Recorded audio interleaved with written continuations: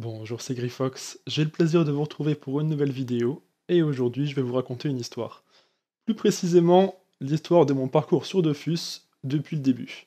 Alors installez-vous confortablement, et si vous le voulez bien, commençons. Alors, euh, pour la première fois d'ailleurs dans ma chaîne YouTube, j'ai pris des notes, je me suis fait un script de la vidéo parce que ça risque euh, d'être un petit peu long, il y a beaucoup d'éléments à aborder. Et c'est également la première fois euh, que je vous retrouve uniquement en face caméra sans avoir Dofus d'ouvert à côté. N'hésitez pas à me donner vos retours par rapport à ça.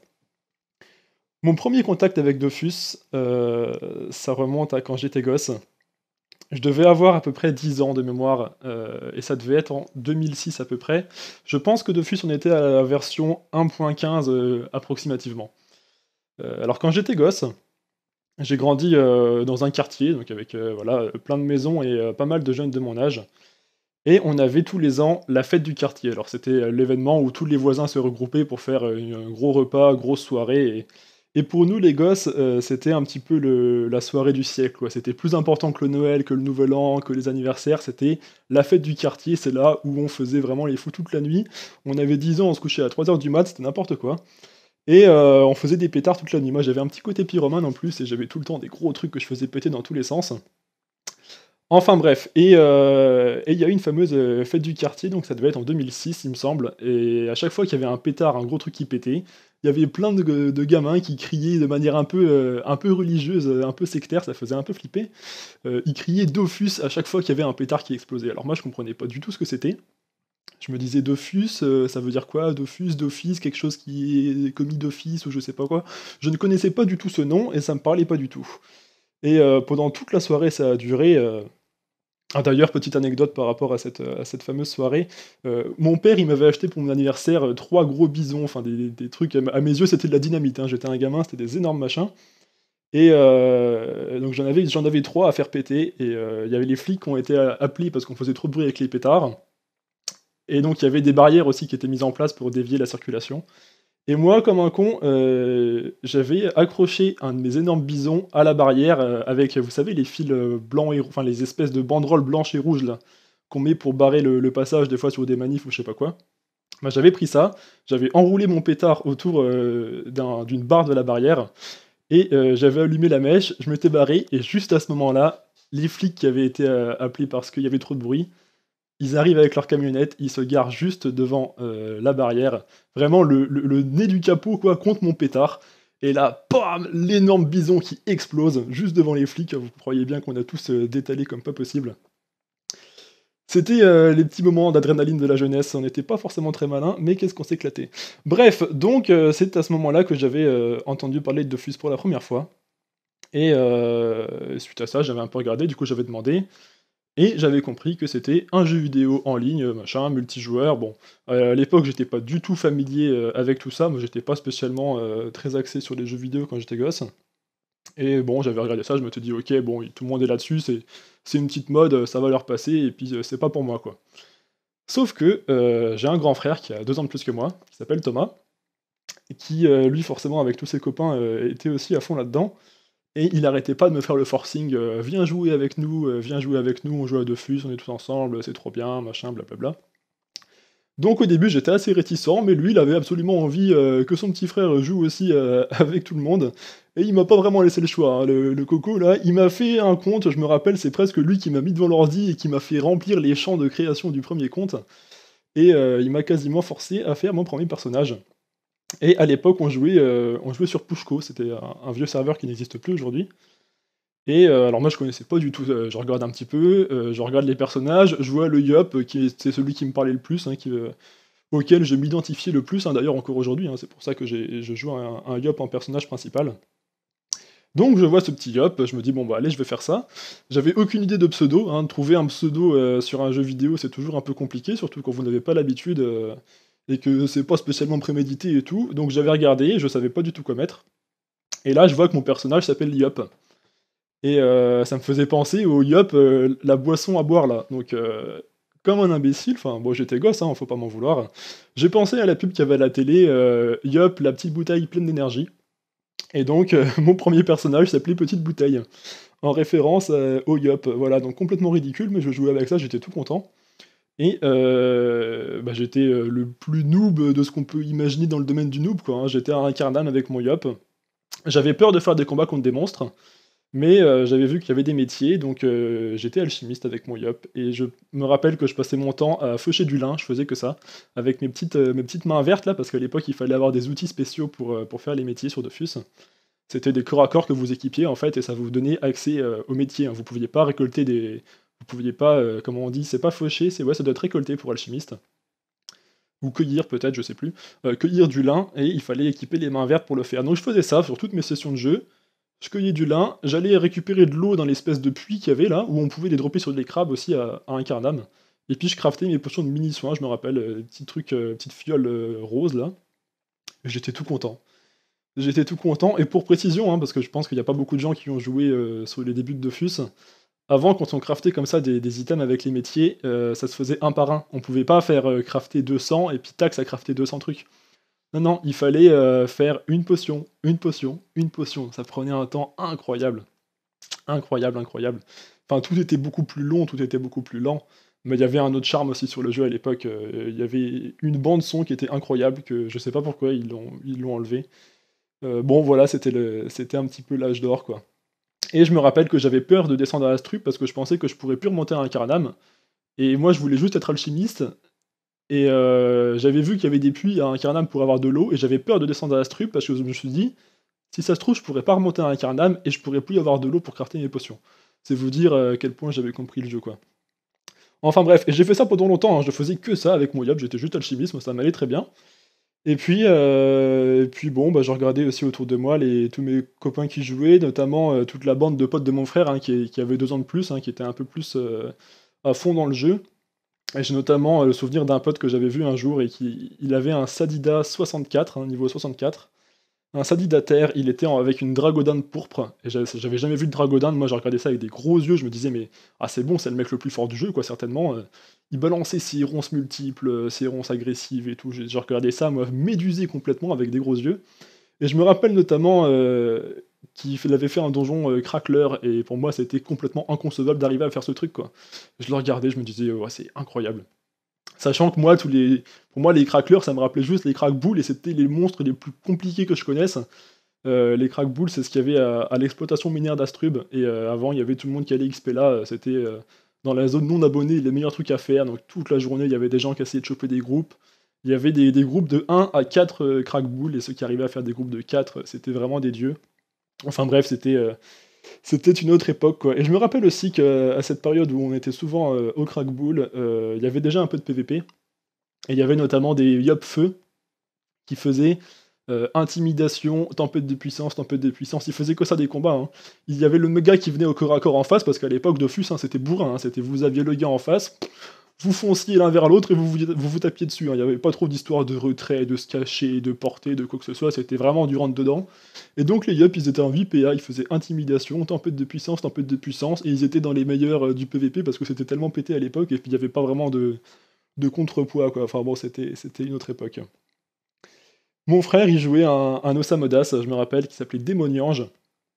Et, euh, grâce à ses potes euh, qui, eux, étaient vraiment en train de farmer le jeu, il pouvait y avoir des stuffs beaucoup plus, beaucoup plus OP hein, que ses copains lui achetaient. Euh. J'ai notamment souvenir de euh, d'avoir vu des over vita, moi je connaissais pas du tout à l'époque hein, les des items, je connaissais même pas les items hein, de toute façon, moi je faisais que mon, métier, et il avait une mout mou over vita qui était une ceinture bah, level qui faisait des invoques et de la vita, enfin moi ça me paraissait complètement incroyable, je me dis ouais c'est un des meilleurs items du jeu et tout, enfin j'étais vraiment comme un gamin. Et, euh, et ensuite, euh, il avait fait un féca, je me rappelle, et il farmait le, donjon bouffe avec, euh, avec les glyphes enflammés. Avant, les fécas, ils avaient le glyphe enflammé, et, les glyphes, à l'époque, tapaient en début de tour. C'est-à-dire que... Est-ce que ça marche toujours comme ça aujourd'hui? Enfin, Maintenant, le changement des... enfin, la mécanique des glyphes a beaucoup changé, avant, les glyphes, c'était vraiment des trucs qui étaient posés au sol, qui étaient beaucoup plus grands que ceux que les FK ont euh, aujourd'hui. Et euh, le seul effet que ça faisait, c'était juste que quand vous commenciez votre tour dedans, vous preniez des dégâts. Et donc, euh, il faisait le donjon bouffe je me rappelle. Il, mettait son glyphe et il prenait tous les bouffetous, les bouffetons, enfin tous les petits monstres du donjon dedans. Il avait juste à passer son tour et tac, tac, tac, tac, tac, il crevait tous les uns après les autres. Et il farmait ça et il capturait le, boss et il revendait les pierres. Et il se faisait des kamas comme ça, je me rappelle de cette époque. Et également, je l'avais vu farmer dans la crypte du, cimetière d'Amakna, où il y avait des souris grises ou des trucs comme ça, des souris, ou souris grises, je sais plus. Il farmait ça, et, comme il avait des armures du Feka, il prenait pas de dégâts, et moi j'ai regardé ça, je me dis, mais c'est complètement fumé, il se fait taper, il prend pas de dégâts, c'est incroyable. Alors que moi, je suis un yop, je me fais taper dessus, je perds des points de vie, je dois manger du pain, euh, je dois manger mes potions euh, de, mini-soins d'alchimiste et ça me prend tout et tout. Enfin bref, c'était euh, c'était génial quoi. Et mon frère, il, me douillait quand même sur deux choses. Alors la première, c'est que. alors je les mets dans l'ordre ou, pas dans l'ordre. Allez, on va y aller du plus soft au moins soft. Déjà, la première, c'est qu'il allait toujours jouer chez ses potes. Parce que euh, moi, j'ai été élevé un peu à la dure par rapport à tout ce qui est euh, écran, jeux vidéo et tout. Et euh, j'étais limité sur mes temps de jeu quand j'étais gosse, et c'était 30 minutes par semaine. Alors, je sais pas si vous imaginez. J'avais 15 minutes le mercredi et 15 minutes le week-end. Autant dire qu'à ce rythme-là, vous n'étiez pas prêt d'être niveau 200, hein, surtout que le, le Dofus de l'époque, la progression n'était pas aussi rapide qu'aujourd'hui. Donc voilà, j'avais 15 minutes le mercredi, 15 minutes le week-end pour aller faire mes petites potions. Et, euh, mon, grand frère, lui, euh, un peu plus malin que moi, bah, il allait chez les potes qui, eux, n'avaient pas de restrictions, et puis jouait toute la journée avec eux. Et moi, je me faisais vraiment niquer dans tous les sens. Et à côté de ça, encore pire, euh, alors à, l'époque sur Dofus, il y avait beaucoup moins de personnes qui étaient abonnées. Hein. Aujourd'hui, Dofus, vous jouez à Dofus, vous êtes abonné, il n'y a pas vraiment le choix, sinon vous faites absolument rien. Avant, le jeu était beaucoup moins développé et la grande majorité des joueurs n'étaient pas abonnés. Donc euh, s'abonner, c'était un peu un luxe. Et la manière euh, la plus classique de s'abonner, c'était avec des codes audio. Donc il fallait appeler un numéro, il y avait la petite musique, euh, bonjour, ce service vous est proposé par la société Ankama Games, machin, blablabla, avec un répondeur qui durait, c'était 2-3 minutes, je crois, c'était super chiant, que vous payiez genre 2-3 euros l'appel et vous récupériez un code, et avec ça vous pouviez vous abonner une semaine. Et ce que mon frère faisait, bah, c'est qu'il utilisait le téléphone familial, donc le téléphone fixe hein, à l'époque, et euh, il récupérait des codes audio en masse, il avait des feuilles euh, A4 euh, remplies de codes audio, de codes audio. Et ce petit énergumène, c'était le fournisseur de code audio de tout le serveur. Donc, bah, il les vendait 10 000 kama unités. C'est quand même pas. Enfin, quand on compare à aujourd'hui, ça fait quand même 3 euros les 10 000 kama. Bon, mais l'économie était différente à l'époque. Et euh, donc il était pété de thunes grâce à ça, et puis après il me narguait qu'il avait des trucs de fou et tout. Moi j'étais là comme une merde avec une petite potion. Et, euh, et un jour mes parents ils ont découvert ça. Écoutez bien, il y avait 850 euros de facture téléphonique. Alors je ne sais pas, euh, sais pas, il a fait ça pendant combien de temps, mais 850 balles quoi. Et, donc mes parents ils ont vu, ils ont été contactés par la banque. ouais, il y a peut-être une tentative de fraude sur votre compte. On a vu des dépenses toujours vers le même le même débiteur, euh, c'est suspect, machin. Et mon frère, il disait rien, hein. il les a regardés, il mon père euh, qui essayait de comprendre et tout, et au bout d'un moment, ils ont compris que c'était ça, quoi, que c'était mon frère avec. Euh, enfin, eux, ils ont pas compris que c'était mon frère, ils ont juste dit, ah, c'est Dofus. Sauf que je jouais aussi. Donc, on s'est fait démonter tous les deux, moi j'en ai pris plein la gueule, alors que j'avais absolument rien demandé, moi j'étais juste là avec mes petites potions, et je me suis pris la soufflante au passage, super le frérot. Et il les a jamais remboursés, les 850 balles, hein. donc bon. Ça, c'est les, petites blessures qu'on pourrait dire euh, seul le temps guérit, mais c'est toujours pas guéri au fond de moi. Hein. Ça, c'est des, blessures profondes. Bref, en tout cas, voilà, c'était euh, toute une période, c'était vraiment génial. Si vous me permettez, je vais me faire mon petit thé vert. Parce que je pense que je suis parti pour parler un petit moment. Donc autant essayer de ne pas se dessécher. Ensuite, euh, bon, on a continué comme ça pendant une période. Euh, et, à l'époque, bien sûr, on n'avait qu'un seul PC dans la famille. Hein. Il y avait euh, l'ordi familial qui était dans le bureau de mon père. Et, euh, le bureau, il fermait à clé. Donc, bah, tout le temps, pour qu'on n'y ait pas accès, mes parents fermaient le bureau à clé. Et on ne pouvait pas avoir l'ordi. C'était assez chiant. Et bien sûr, ce qu'ils faisaient, c'est qu'ils planquaient la clé après. Et, donc, on passait des heures et des heures à chercher dans toute la maison pour trouver la clé. C'était vraiment notre occupation avec mon frère. Si on avait par exemple une journée où on était tout seul à la maison, c'était 10 heures de recherche intensive de clés, quoi. Et on fouillait toute la maison, tous les tiroirs, on retournait tout, enfin c'était vraiment un délire. Surtout ma mère, elle aimait bien cacher les choses, hein. donc c'était la clé, mais c'était aussi euh, euh, les Game Boy, euh, les manettes de GameCube, tout, ce que, tout ce qui nous servait à, jouer à des trucs, c'était caché, puis après elle, elle les perdait. Hein, il y a des manettes qui, ont disparu, des jeux qui ont disparu, elle les a planqués, puis après on lui redemande deux jours plus tard, ah bah je sais plus où je l'ai mis. Bon, voilà, c'était mon enfance, c'était génial. Mais euh, ce qu'il faut savoir, c'est que donc ce bureau dans lequel il y avait l'ordinateur et qui était fermé à clé, il donnait sur un balcon, et c'était un grand balcon qui avait deux entrées, on pouvait y accéder par le bureau et par une pièce plus grande, une mezzanine qu'il y avait à l'étage.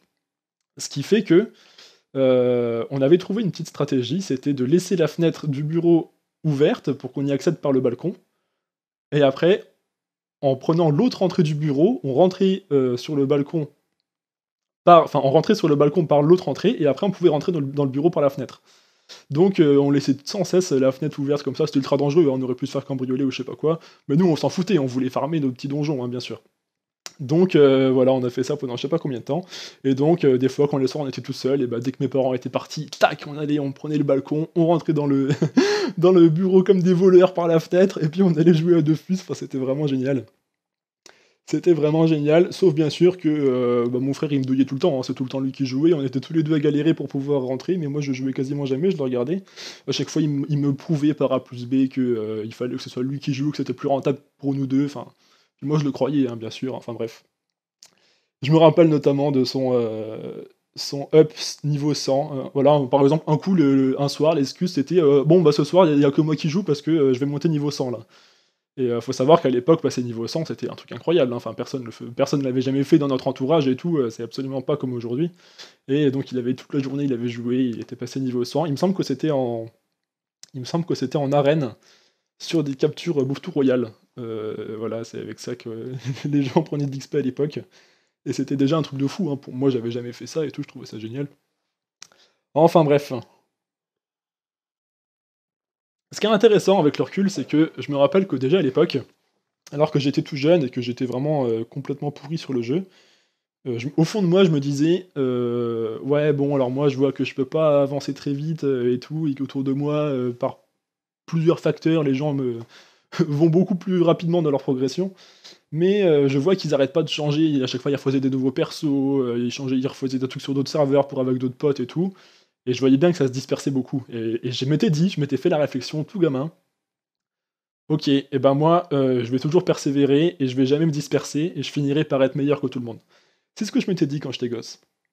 Et si j'avais su le parcours que j'allais faire derrière après. Enfin bref, voilà, j'avais ce petit côté tryharder en moi déjà. Donc j'avais continué avec mon petit job tranquillement, et il y a une période où j'avais pu après aller au, cimetière d'Amakna, j'allais faire des chaffeurs, avec des ribs et tout, euh, c'était vraiment génial, des tofu maléfiques aussi.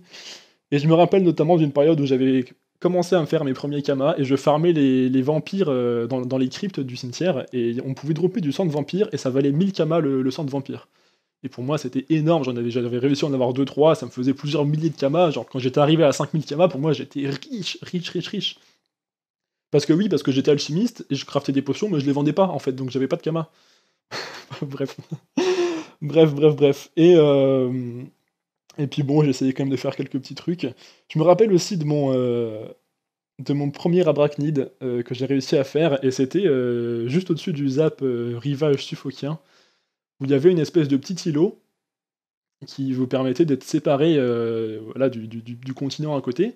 J'avais lancé le combat contre l'arachnide et avec mon diable j'avais fait bon sur l'îlot, ce qui fait que j'avais tout pile la portée d'aller sur la petite île, sur cette map, et donc moi j'étais protégé, la ne pouvait pas me taper. Et moi je la tapais à distance avec, euh, avec épée du destin. Épée du destin à l'époque sur le Yob, vous le lanciez en ligne et ça tapait toute la ligne. Vraiment portée infinie, vous le mettiez, vous, voilà, vous aviez les, 4 directions possibles et ça tapait toute la ligne. Ça tapait pour 5 PA, c'était des dommages feu à l'époque aujourd'hui, c'est toujours des dommages feu, épée, du destin, mais ça a bien changé comme fonctionnement de sort. Et donc, grâce à ça, j'avais mis genre euh, peut-être 50 minutes à faire le combat. Hein. J'avais réussi à, tomber la brachnite parce que du coup, j'étais, j'avais pas du tout d'éléments, j'avais pas de stuff, j'avais rien, donc ça a pris une plombe. Et puis, bien sûr, les, les ça se faisait des reconstitutions, hein, ça se remettait tous les points de vie. Enfin, bref, et j'avais réussi à la tomber, j'étais comme un dingue, j'étais waouh, j'ai battu un abrachnide et tout, c'est un truc de fou. Et euh, j'étais allé essayer d'en faire un autre du coup qui était euh, juste devant Tenela. Euh, hein, c'est là où il y a les bouffetous au-dessus d'Astrub, et à l'époque, euh, c'était une zone réservée abonnés. Et je crois que sur la dernière map non abonnée, juste après avoir traversé un pont, vous pouviez y aller en étant non abonné, et il y avait un arachnide qui apparaissait sur, sur cette map. Un ou une Emraknid, j'ai un petit doute, tiens d'ailleurs. en tout cas, voilà, il y en avait un et tout le monde se battait pour essayer de l'avoir. Et puis euh, finalement, j'avais réussi à le choper et je m'étais fait défoncer parce qu'en n'ayant plus la capacité de mettre sur la petite île pour le taper à distance, et eh ben, je m'étais fait plier, bien sûr. Mais voilà, et je me rappelle aussi. Euh, enfin, j'ai des souvenirs comme ça qui me remontent, mais c'est incroyable. Je me rappelle d'avoir fait un donjon des champs et j'avais lancé une pression et j'avais tapé 35 et d'avoir tapé 35 avec ma pression, j'avais l'impression que j'étais un roxeur de malade, ça me paraissait énorme, parce que j'avais des boosts, et je crois que j'avais un gars avec moi qui m'avait fait booster et tout, et j'avais tapé 35 à la pression, et j'étais comme un dingue.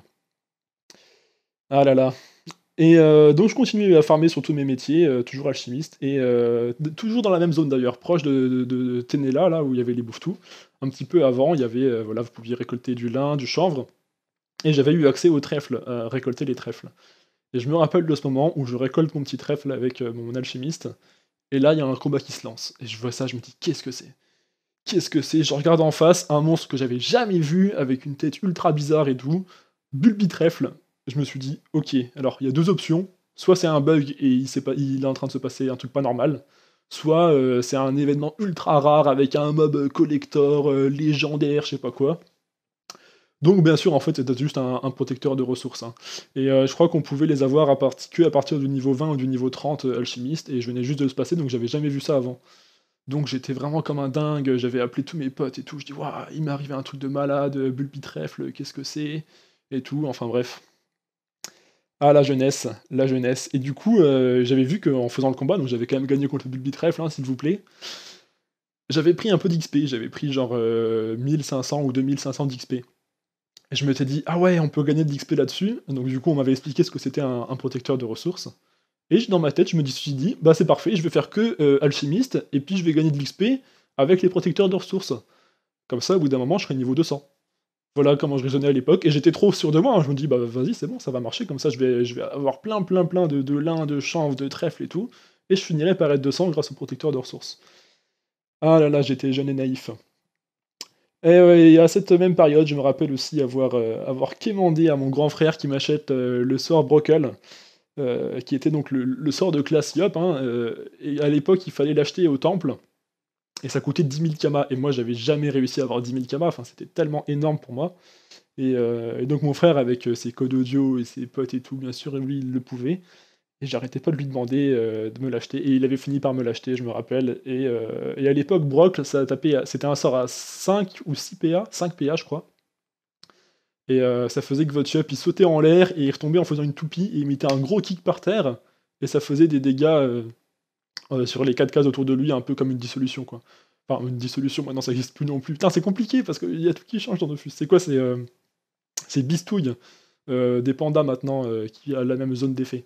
Donc voilà, ça tapait neutre à 5 PA autour, euh, comme ça, et moi j'allais fermer les chauffeurs avec ça, je me rappelle, j'étais comme un dingue.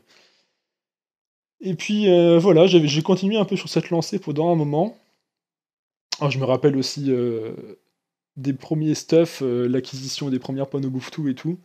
Et, un coup, je regardais mon frère jouer, je crois, voilà, encore une fois, on avait dû réussir à rentrer dans le bureau et, je le regardais jouer. Il avait essayé d'avoir une cape du bouffe-tout, sauf qu'à l'époque, il n'y avait pas les, il n'y avait pas les échanges où vous pouviez mettre un item contre un autre et puis euh, valider sans vous faire arnaquer. Parce qu'il n'y avait pas de délai sur les échanges, c'est-à-dire que vous pouviez enlever la cape et valider, et tac, ça faisait, euh, ça faisait l'échange. Donc c'était ultra risqué. Ce qui fait que personne n'utilisait les échanges pour se, vendre ou s'acheter des items. Donc il voulait une cape, une, cape du bouffe-tout, ouais. Et, euh, et, il avait proposé au gars de lui échanger contre un sporm de Champ Champ. Et le sporm du Champ Champ, c'était une ressource euh, rare à dropper sur les champ champ à la forêt d'Astrub. Et ça devait valoir un truc comme 10 000 kamas ou je sais pas quoi. Et donc euh, le gars était là, bon bah ok, je t'échange ça contre la cape. Sauf qu'à l'époque, voilà comment les échanges se passaient. C'était, euh, vous alliez sur une map où il n'y avait pas grand monde, et chacun se mettait à un côté de la map, les deux jetaient la, ressource ou l'item par terre, et après ils couraient euh, récupérer celle de l'autre, et comme ça, bah, voilà, l'un allait prendre celle de l'un, et puis l'autre allait prendre celle de l'autre, et tac, et l'échange se faisait. Ah, c'était aberrant, quoi. Surtout qu'il y avait des potions d'invisibilité, et des fois, il y a des gars, ils faisaient ça, et en fait, il y avait un mec invisible qui, hop, allait vous rechercher euh, la petite ressource que vous veniez de déposer, vous vous faisiez arnaquer. À l'époque de FUS, hein, c'était 5% euh, gameplay, 95% arnaque, hein, il n'y avait que ça sur le jeu. Enfin, c'était, on s'amusait bien. Et, donc mon frère, sur cet échange, il avait essayé donc de choper la cape bouffe du gars, et donc il lui montre le spawn du Champ Champ, mais au moment de, jeter le truc par terre, il avait jeté une baffe de bouffe Et la baffe de bouffe au niveau de l'illustration, ça ressemblait un peu à, un spawn de Champ Champ. Et donc il fait ça, le gars en face il jette sa cape, mon frère, il coupe récupérer la cape du gars, et l'autre était allé voir la, récupérer son spawn de Champ Champ. Sauf que à la moitié du chemin, il s'est rendu compte que c'était pas la bonne ressource, donc il est revenu en arrière essayer de récupérer sa cape.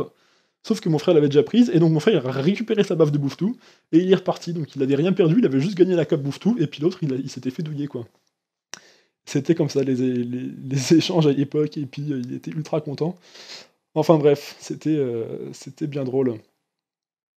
C'était bien drôle. Et euh, donc voilà, moi j'avais continué un petit peu sur cette lancée. J'avais toujours mon yap, donc qui était terre. Hein. À l'époque, pour moi, un yap c'était terre, c'était pas autre chose. Et, euh, je farmais et je farmais un peu mes donjons. Puisque là, je progressais quand même très lentement dans le jeu, mais je progressais un petit peu. Et j'avais fini par, euh, arriver à un stade où je pouvais gérer des scarafeuilles blancs. scarafeuilles blancs, c'est les scarafeuilles qui ont les faiblesses terre, donc je tapais plus fort dessus.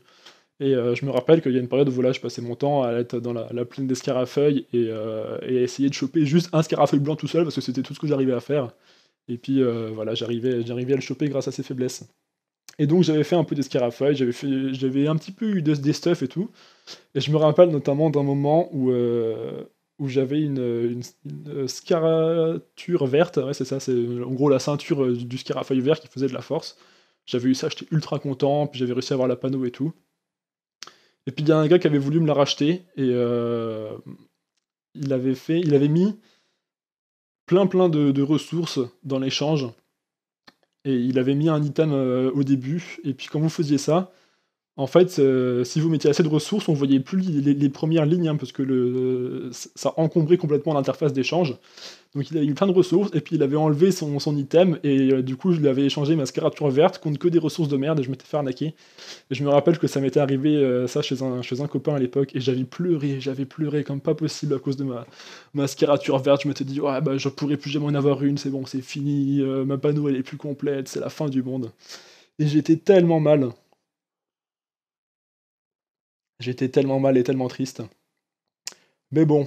Et euh, bon, voilà, je continue comme ça pendant un temps. Et puis, je me suis fait euh, un NUO. Alors, je sais plus trop dans quel ordre. Euh, parce que bon, voilà, j'essaie de vous raconter tout ça, hein, ça remonte à loin, c'est flou. Hein, donc, bon, la chronologie, j'ai essayé de remettre mes idées en ordre, mais il y a peut-être des choses qui vont un peu se mélanger. J'avais un NUO un peu après. Et j'étais allé farmer le, le donjon des champs et je dropais des panneaux paysans et des panneaux mosquitos. Et j'étais trop content de faire ça, enfin c'était génial. J'essayais d'avoir les meilleurs jets sur la panneau paysan en drop, hein, je connaissais pas du tout la forge magie ou les trucs comme ça. Puis c'est des panneaux qui faisaient rien, hein, ça faisait 15 en chance ou un truc comme ça, mais j'étais trop content. Et euh, peu après, j'ai eu un Enifeu aussi qui est arrivé, donc j'avais Yopter, Enifeu, Enuo, et là j'allais farmer le donjon Scarafeuille. Et euh, je pense que c'est parmi les souvenirs les plus forts qui me restent. C'était euh, enfin voilà, ce moment où je farmais Scarafeuille, je faisais que ça, et puis J'étais super content. J'avais un ennemi qui était du coup en panneau scarafeuille euh, doré, scarabosse doré, je crois que ça s'appelle. Ça s'appelait, je sais pas si ça existe encore. Et il avait euh, du coup pas mal de soins, et puis il soignait avec des moraux vitalisants à 2 PA, qu'on pouvait spammer plein de fois, plein de fois, plein de fois, et puis ça a soigné tout le monde. Oh, j'étais trop content. J'étais vraiment trop content. Et puis euh, suite à ça, j'avais écrit une petite guilde. Alors à l'époque, là je devais être au collège à peu près, début du collège. Euh, et j'avais des cours de latin, j'ai fait du latin au collège, et j'avais appris ce que voulait dire euh, alea iacta est, qui veut dire les, dés sont jetés. Et je trouvais l'image euh, trop belle, j'étais trop content d'avoir appris un truc au latin. Et du coup, j'avais fait une guilde et je l'avais appelée alea iacta est. Et j'étais j'étais vraiment super content. Et donc j'avais une petite guilde toute pourrie, voilà que j'avais fait, puis j'avais mis une image de dés comme logo de guilde. J'ai trouvé ça génial. J'étais vraiment comme un fou voilà un petit peu, euh, un petit peu toute cette, euh, cette époque. Ah tiens, d'ailleurs, en préparant la vidéo, j'ai fait une petite recherche et je me suis dit, si ça se trouve, la guide, elle existe toujours et je pourrais retrouver mes persos dedans, mes vieux persos. Alors la guide n'existe plus, elle a dû être supprimée pour une activité. Et en revanche, j'ai vu qu'actuellement, il y, a une, alliance qui s'appelle comme ça. Donc c'est assez drôle. Voilà, et puis un, autre souvenir que j'ai de cette époque aussi, c'était euh, un voisin, mais qui était plus âgé, lui, et qui jouait déjà à l'époque à 8 comptes et il avait que des Enutrophes et il allait dropper des, des Gelano en masse au gelé. Parce qu'avant on, pouvait dropper des Gelano euh, sur les gelés, c'était euh, quasiment que comme ça qu'on pouvait les obtenir je crois. Donc ils faisaient un PA, hein, ils ont toujours fait un PA les Gelano. Et ils les revendaient, à l'époque ça valait ultra cher et ils se faisaient des, thunes comme pas possible là-dedans. Et enfin voilà, mais pour nous c'était un autre monde, hein, c'était pas le même jeu. Voilà, donc il y a eu cette période un petit peu, euh, un petit peu confuse, un petit peu nébuleuse, mais, avec tellement de plaisir, de, découverte. On faisait rien dans le jeu, il n'y avait même pas d'objectif, euh, il n'y avait rien du tout. Et je me rappelle que le, mon Yop, il était monté jusqu'au niveau 80. Et j'avais eu le sort euh, concentration, je crois. Ouais, il me semble qu'à l'époque, c'était concentration au niveau 80 en obtention du sort. Épée Yop niveau 90 et colère de Yop niveau 100. Et voilà, j'avais réussi à avoir concentration, et puis pour moi, c'était vraiment mon objectif dans le jeu, c'était d'avoir concentration, qui t'a fait la 2 PA, là, avec les points qui se fermaient comme ça, tac. Et je trouvais ça génial. Sauf que euh, bah, quand j'ai eu ça, j'avais plus trop d'objectifs, et du coup, je crois que j'avais arrêté euh, le jeu à peu près à ce moment-là. Et euh, donc j'avais perdu tous mes comptes, tous les identifiants, enfin j'ai complètement tout laissé mourir. Et voilà, donc pour moi, c'était ma période de fuse qui était terminée quand j'étais quand j'étais plus jeune, quoi. Et quelques années plus tard, je pense, mais pas trop non plus, parce que j'étais encore au collège. Euh, j'avais mon, meilleur ami de l'époque, qui s'appelait Nicolas, euh, avec qui on, traînait toujours ensemble, euh, et on avait repris Dofus ensemble pour jouer tous les deux. Donc c'était au collège. Je crois qu'on devait s'être fait des personnages sur Jiva, je crois, de mémoire. Mais j'ai un doute là-dessus. Euh, moi, je m'étais fait un Anutrof O qui s'appelait Shadow Sun, euh, et c'était en référence à, un commandeur euh, de, l'univers Warhammer 40 000. Je sais pas si certains connaissent. Mais voilà, y il y avait un personnage dans cet univers qui s'appelait Shadow Sun, et je trouvais ça trop stylé. Donc j'avais appelé mon Anutrof comme ça, et lui, il avait fait, je crois, un panda terre. Et à l'époque, les pandas venaient juste de sortir, je crois, ou alors c'était d'un truc qu'on voyait vraiment très peu. Et il fallait être abonné pour faire un panda. C'était vraiment la classe réservée aux abonnés qui pouvaient euh, débloquer l'accès au Pandawa. C'était quelque chose de fou. Et euh, donc il jouait ça, euh, on était nuls hein, sur le jeu, pareil, on faisait quasiment que dalle. Et, je me rappelle que dans, dans, la cour de récréation, des fois, on passait toute la récré ensemble et à se dire ouais, qu'est-ce qu'on va faire la prochaine fois qu'on va jouer, quel, quel donjon on pourrait faire et tout on réfléchissait pendant ultra longtemps à ce qu'on allait faire, alors qu'en fait, on n'avait pas tellement de choix, quoi. Il y avait quelques donjons qu'on arrivait à faire, et puis il y en avait 3-4 à tout casser. Et puis voilà, quoi, il n'y avait pas vraiment à se poser la question. Mais on spéculait là-dessus comme des fous, euh, sur euh, quel est le meilleur perso, la meilleure classe, les meilleurs métiers, tout. Enfin, on était comme des gamins. Et euh, moi, j'étais en panneau Aquadala, je me rappelle. panneau Aquadala, et il me fallait. donc j'avais la panneau, mais je pouvais pas mettre le bouclier. Euh, parce qu'il y avait des contraintes de grade pour l'équiper, il fallait être grade 4 euh, pour l'équiper, et j'avais jamais réussi à passer grade 4, donc j'avais jamais pu mettre le bouclier. moi, mon rêve absolu, c'était de pouvoir mettre le bouclier pour avoir la panneau complète. Quoi. Ah là là, j'ai une panneau à Quadala de l'époque. Parce que euh, aussi, je me rappelle que pendant longtemps, j'ai eu peur du PVP. pour moi, c'était un truc qui était. Enfin, moi, j'étais pas du tout violent comme mec. Le, simple idée d'être en affrontement contre quelqu'un, euh, quand j'étais plus jeune, me, je me disais c'est pas du tout fait pour moi ce, domaine du jeu, donc j'aurais jamais de bouclier parce que voilà, avant le bouclier c'était que pour le PVP. Euh, c'est pas possible. Euh, donc voilà. Pendant très longtemps, j'ai pas touché ça, puis un jour j'ai quand même fini par essayer. Alors je sais pas comment j'en suis arrivé à me dire que j'allais tester. Mais je me suis mis à faire du PVP et, à l'époque il y avait les tracks. Alors les tracks c'était vraiment quelque chose de génial sur Dofus. Je pense que ça manque à tout le monde. Je sais toujours pas pourquoi ils l'ont enlevé. Mais c'était génial les tracks. En fait, ce qui, se passait, c'est que vous alliez dans la, ministre de votre, euh, de votre alignement, donc euh, soit Bontarien, soit Brakmarien. À l'époque, hein, tout le jeu, il était euh, très structuré autour de l'affrontement Bonta-Brakmar. Il y avait vraiment une, rivalité entre les deux. par exemple, les HDV n'étaient pas réunis. Hein. Il y avait les HDV de Bonta, les HDV Brakmar, et puis si vous mettiez un item en vente à Bonta, bah, il était en vente que à Bonta, et pareil pour Brakmar. Donc il y avait des économies parallèles avec voilà, toujours des, c'était génial, il y avait beaucoup plus d'enjeux, de, il y avait beaucoup plus de côté jeu de rôle en fait au, sein de l'univers de FUS, avec euh, des raids, des fois des, bra des qui venaient un petit peu à Bonta. En gros, ce qui se passait, c'est que quasiment tout le monde était bontariens, et les braquemariens, c'était que les mecs vraiment chauds du PVP, qui avaient des vrais persos, et puis euh, qui venaient casser du bontarien, enfin c'était assez génial. Et, euh, et donc il y avait des tracks, hein, où vous alliez dans la ministre de votre alignement, et puis ça vous désignait une cible. Euh, donc par exemple, voilà, si vous étiez niveau 80, ça allait vous mettre un gars entre, euh, entre 60 et 100, hein, donc il, pouvait y avoir un écart de niveau. et vous aviez des parchemins, et quand vous les utilisiez, ça vous indiquait sa position sur l'univers de Dofus, quoi. Donc vous pouviez le suivre à la trace comme ça, et puis, et puis quand vous le chopiez, vous l'agressiez. Et puis si vous arriviez à gagner votre track, et ben vous avez une récompense en XP et en Kama. Et donc tout le monde faisait ça tout le temps, tout le temps, tout le temps. À un point que c'était stressant, quoi. Quand, euh, quand on terminait euh, un combat, fallait vite faire potion de rappel parce que des fois il y avait 3-4 mecs euh, qui nous avaient en cible et qui nous attendaient sur la map où on allait arriver après la fin de notre combat, quoi.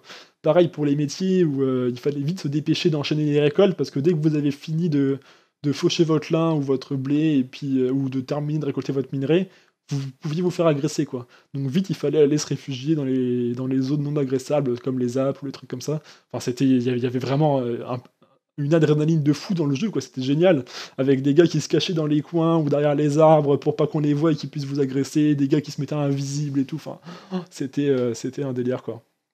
Ça honnêtement, j'ai jamais compris pourquoi ils ont enlevé les tracks. Euh, je pense que d'avoir un petit peu voilà, euh, bien connu la communauté, les forums, les machins comme ça, ça doit être euh, l'élément qui a été le plus réclamé et, qui a suscité le plus d'incompréhension sur pourquoi ça va être retiré du jeu. c'est dommage. C'est dommage. Mais bon, enfin voilà, c'est comme ça. On pourrait en débattre pendant longtemps. Euh, et je jouais, moi, à l'époque, un Enutroph haut, niveau 80, et j'avais un marteau-tortue, euh, voilà, c'était un marteau qui tapait haut, euh, qui m'avait beaucoup marqué, et d'ailleurs, pour la petite anecdote, c'est pour ça qu'aujourd'hui, tous mes marteaux, je les mini-biote avec cette apparence. encore aujourd'hui, hein, mes marteaux sur mes personnages niveau 200, sur cette version 2.49 actuelle, tous mes marteaux sont mimi-biotés avec ce marteau-tortue de l'époque qui me rappelle tellement, tellement de souvenirs. C'était vraiment la folie. J'ai joué en VIP à 4 PM, j'avais euh, une dragodinde émeraude indigo, je me rappelle, ça faisait, devait faire de la vie, de la chance et un PM, mais c'était des bonus très légers, hein, mais euh, à l'époque c'était vraiment le, rêve quoi, j'étais super content d'avoir pu avoir ça. J'avais une ceinture des vents aussi, je me rappelle de quelques items comme ça qui me reviennent, et euh, la coiffe, alors je sais plus le nom, mais c'était c'était peut-être la blob coiffe royale, ou un truc comme ça mais c'était une espèce de, blob bleu écrasé avec une couronne dessus, et ça vous faisait euh, de la portée et des coups critiques. Et en fait, je jouais euh, avec un mode euh, un coup critique sur deux au lancer de pièces avec pas mal de portée. Donc à l'époque, hein, les coups critiques ne marchaient pas comme aujourd'hui. Aujourd'hui, c'est des pourcentages de coups critiques, mais avant, vous aviez un item qui vous faisait par exemple plus 5 au coup critique. Donc le système de calcul était très très euh, bizarre, enfin il n'y a pas grand monde qui comprenait vraiment comment ça marchait, mais euh, voilà, on jouait avec ça, et donc j'avais euh, mes lancers de pièces à coup critique, et puis des fois je me faisais accélération, et tac, j'allais mettre un coup de marteau, et je tapais, je sais pas, 180 avec, mais je me sentais plus pissé, je trouvais ça génial. Et, à cette époque aussi, je me rappelle, donc des tracks, du PVP, qu'il y avait, y avait plein plein de yop et de sacrieurs qui jouaient dommage. Euh, c'est-à-dire c'était des modes dommages où euh, il n'y avait pas d'éléments, c'était juste du boost de, dommages brut. Et euh, donc il y a les yobs qui farmaient épée divine, les sacrieurs ça devait être la furie, je crois, qui leur faisait des dommages. Et ils jouaient avec l'épée Bouffe-tout royal qui avait 4 lignes de dégâts. Donc les dommages se cumulaient là-dessus, c'était ultra fort, c'était vraiment les trucs les plus forts de l'époque. Et enfin, je, voilà, je, regardais ça pareil avec des grands yeux, l'épée Bouffe-tout du royal pour moi qui était un item beaucoup trop cher pour que je puisse l'avoir un jour c'était vraiment génial.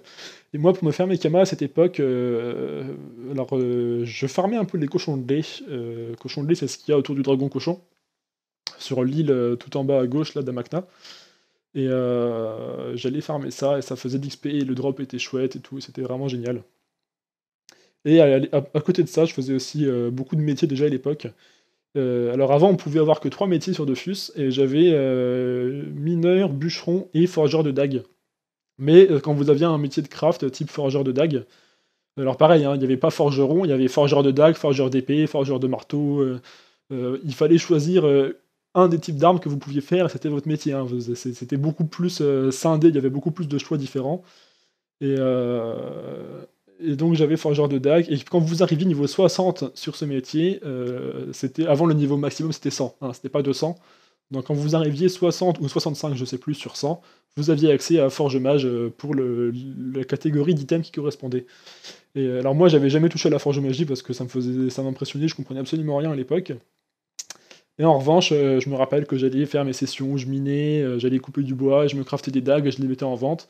Et ça me prenait un temps incroyable. Et puis quand j'avais rempli mes, enfin quand j'arrivais fini de faire mon, mon, petit tour, mes crafts, Je me rappelle que ça m'a rapporté 350 000 kamas et je trouvais ça énorme, énorme, énorme. Et j'adorais quoi. J'adorais, j'adorais, j'adorais. Et puis ensuite, j'avais plus transité vers un mode prospection et j'avais réussi à avoir un No Moon. un No Moon 90 prospection et pour moi c'était l'accomplissement ultime dans le jeu, enfin j'ai été vraiment ravi de ça. Euh, et, je farmais avec ça le donjon forgeron. Euh, voilà, avec le coffre des forgerons à la fin, vous pouviez dropper un peu de, des pierres brutes dessus, des pierres précieuses, des trucs comme ça. Et je trouvais ça génial. Euh, en soi, le donjon n'avait pas vraiment d'intérêt, ça rapportait pas spécialement de thunes, j'avais pas besoin d'XP dessus ou je sais pas quoi. Mais juste le fait de me dire j'arrive à soloter un donjon forgeron, pour moi c'était vraiment le.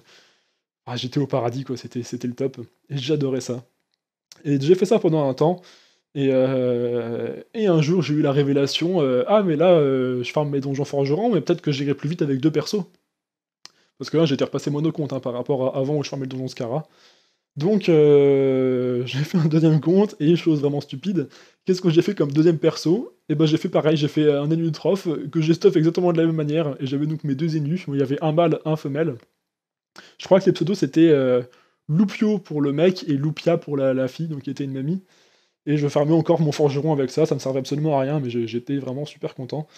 Et euh, donc je continuais mes petits métiers, je vendais un peu les choses, et je me rappelle que je, je devais avoir... Euh, enfin, dans ma tête, je me disais, ok, je fais, je fais pas trop de PVP, je fais pas trop de combats, ni rien, mais je m'en fous, je suis ultra riche. Moi, je me disais ça, alors qu'en fait, je devais avoir 10 millions à tout casser, après avoir fait je sais pas combien de fois les crafts, les métiers, les, les, donjons de pourris comme ça, et, je pensais vraiment que j'étais riche, alors qu'en fait, j'avais que dalle, hein. j'avais un de mood et puis quelques items, quoi.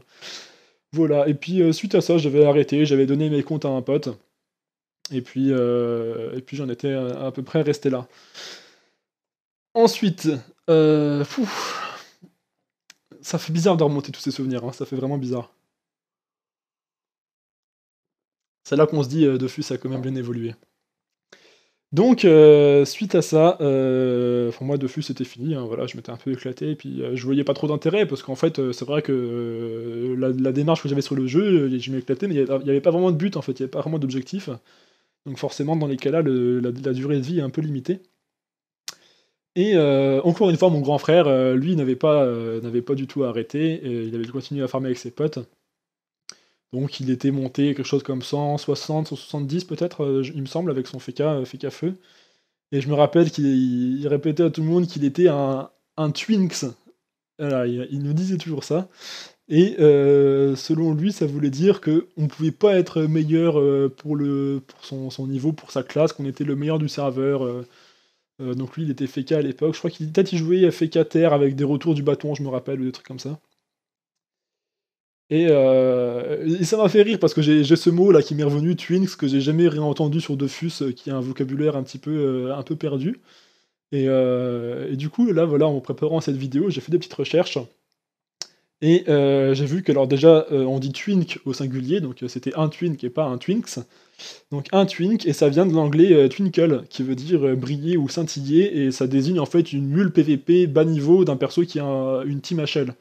Par exemple, voilà un perso. Euh, si, on prend euh, Dofus il y a quelques mois, avant qu'ils mettent les contraintes de level sur les Dofus, un Twink serait été une petite mule PVP niveau 60 pour un gars qui a une team 200 full Dofus et qui lui a mis dessus euh, Vulbis, Ocre et tout, plein de Dofus et tous les items, Forge Magie, Over Vita, enfin voilà.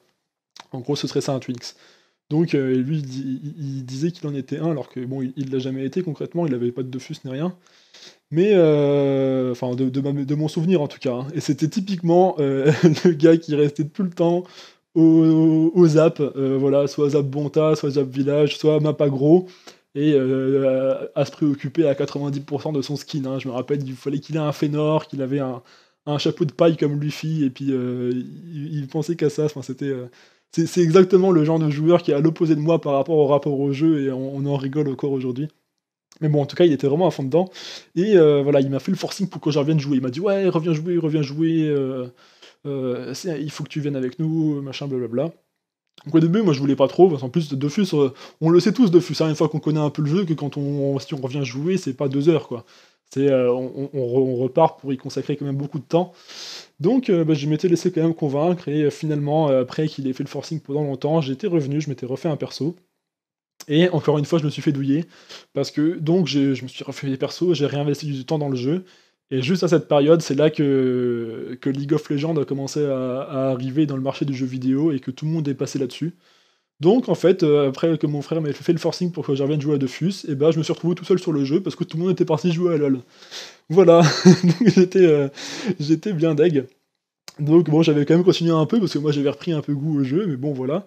Et, euh, juste suite à ça, je me rappelle que mon frère avec un pote, ils avaient essayé d'arnaquer un mec de, faire genre qu'ils allaient lui vendre leur stuff, euh, mais finalement de ne pas le vendre. Et je sais pas, déjà, je sais pas pourquoi ils ont voulu faire ça.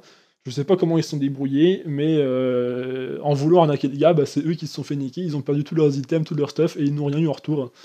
Donc euh, voilà, bien, bien fait pour eux. Hein, c'est ce qu'il faudrait faire à tous les arnaqueurs, mais bon.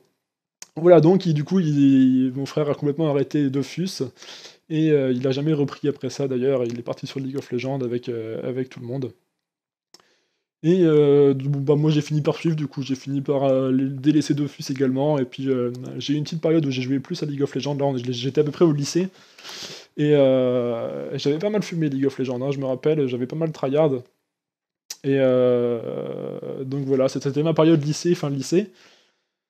Et j'ai sur League of Legends, bon alors pour ceux qui connaissent pas, hein, c'est un, autre jeu vidéo qui, a été extrêmement populaire à une période, bah, qui l'est encore aujourd'hui, mais qui est, bon je, je suis pas très fan maintenant. Mais bref, à l'époque j'étais pas, mal monté dans les classements, j'étais platine et j'allais passer diamant, je me rappelle.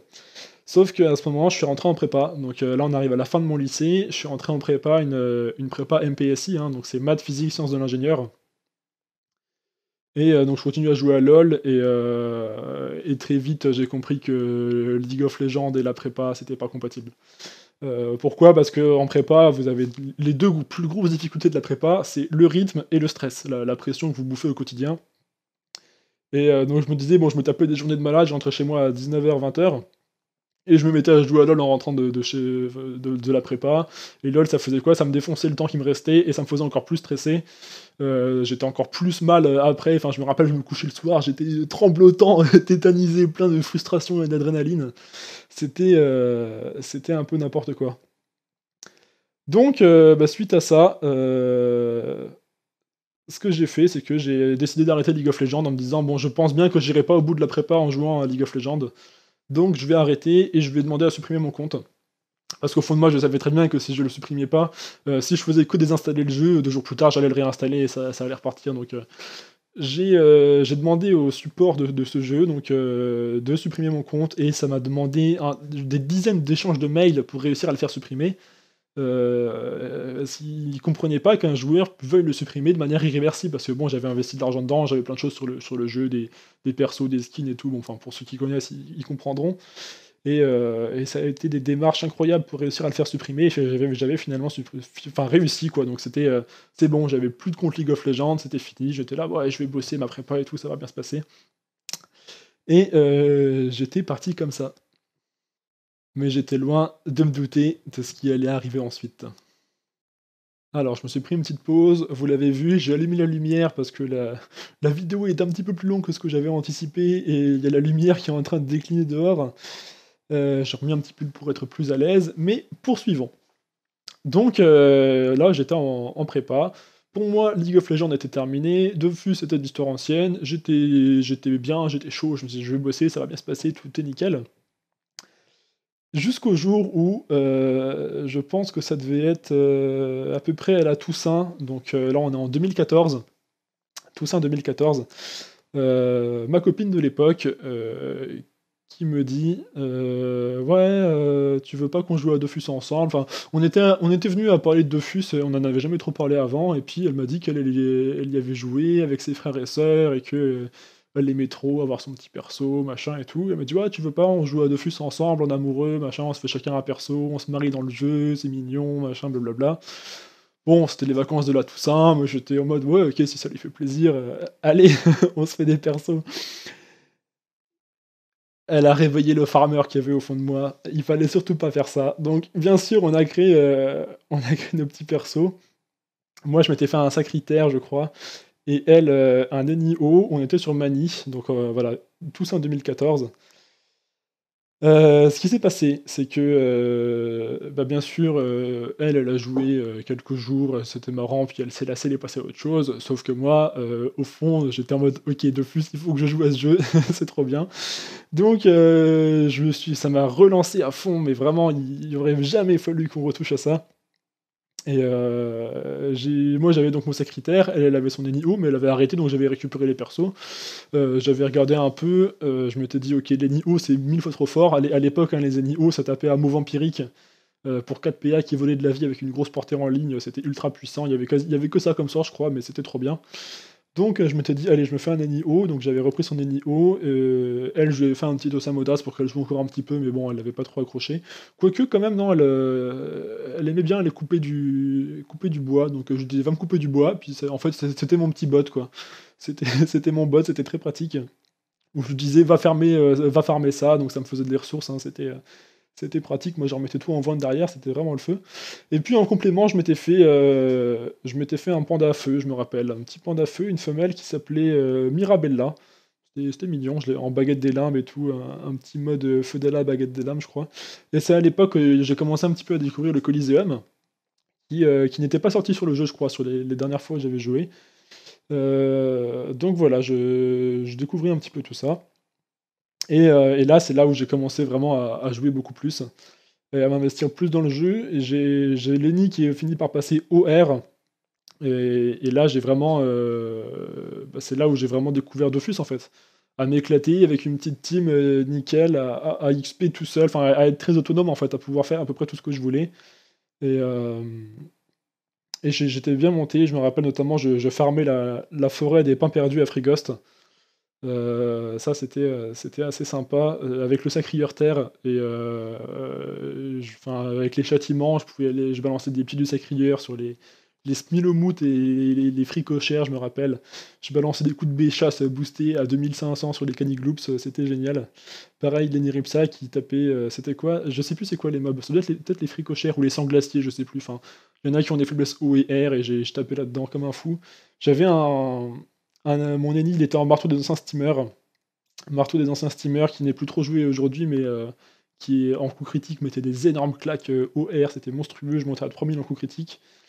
Et je me rappelle que j'avais beaucoup XP là-bas, et mon record c'était 13 millions d'XP en un combat, hein, c'est vous dire que c'était quand même pas si ouf que ça. Et c'était à l'époque où les idoles sont sorties aussi, donc j'avais découvert les idoles, et je jouais avec idoles full corps à corps. Et donc je fonçais dans le tas avec mon sacrieur et mon ennemi, et j'étais super content. Et euh, donc voilà, ça a été une super période où j'ai bien XP. J'étais monté niveau 197 avec, euh, avec Lenny, je crois.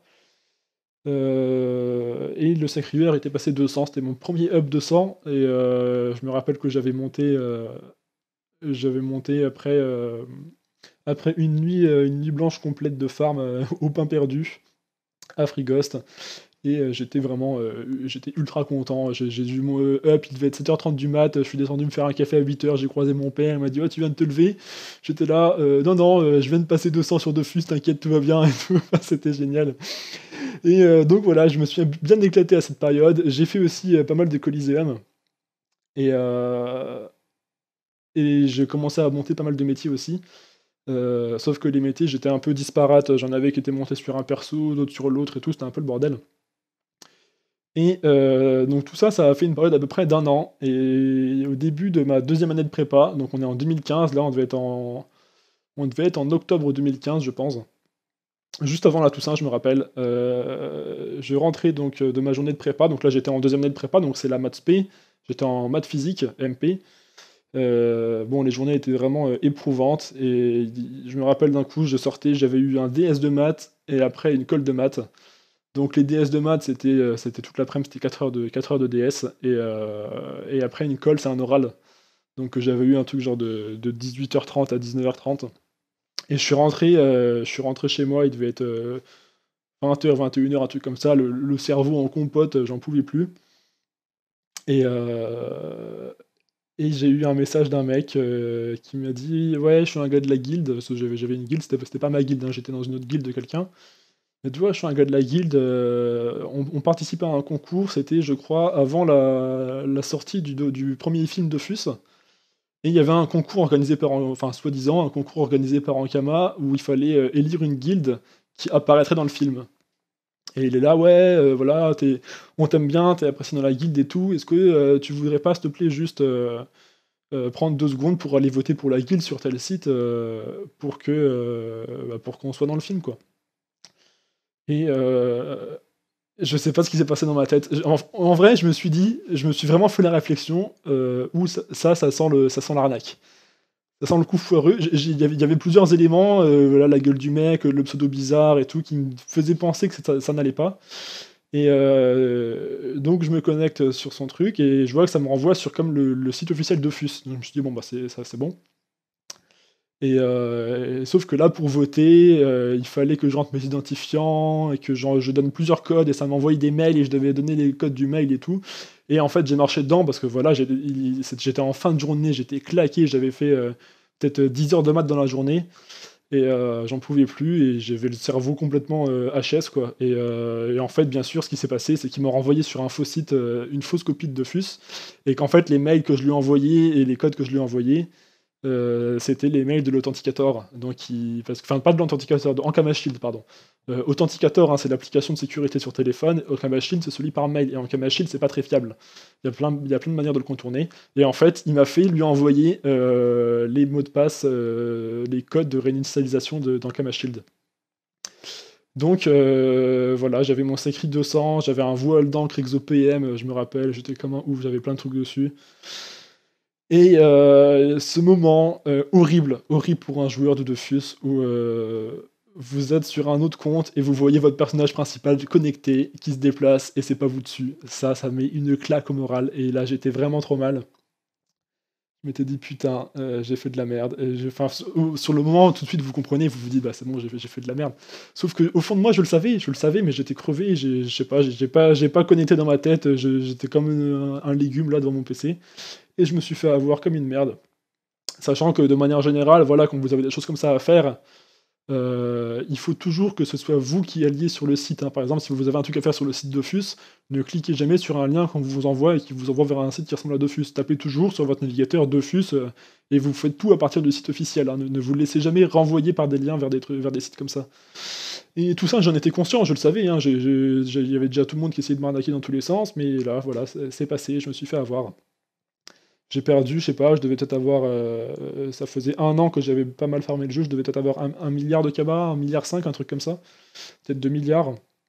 Ou... Enfin, c'est ce que je m'étais dit à l'époque, après peut-être que je, surcotais ce que je possédais également.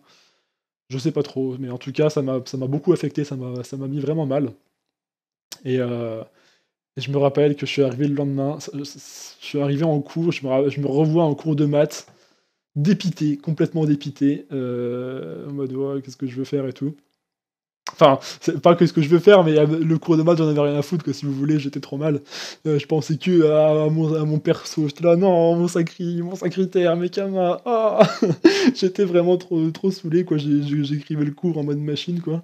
Mais je pensais complètement à autre chose, j'ai tiré la gueule toute la journée, enfin bref. Donc, euh, bon, puis au fond de moi, j'ai un peu fait mon deuil, quoi. Je me suis dit, bon, bah voilà, je me suis fait niquer, c'est ma faute. Euh, j'ai été con, donc euh, bah, j'arrête de fusil ici parce que j'avais perdu quasiment tout ce que j'avais. Et, euh, puis je m'étais dit, bon, bah c'est pas plus mal, hein, parce que c'est vrai que ça prend quand même beaucoup de temps. Donc voilà. Je m'étais dit, bon, bah ça va. Sauf que. Sauf que juste quelques jours plus tard, donc là on était juste avant la Toussaint 2015, et aux vacances de la Toussaint 2015, il y a un article, un, un post sur le site officiel de FUS, que je continue quand même à aller regarder un peu régulièrement de manière euh, machinale, qui a annoncé la sortie euh, du Coliseum interserveur.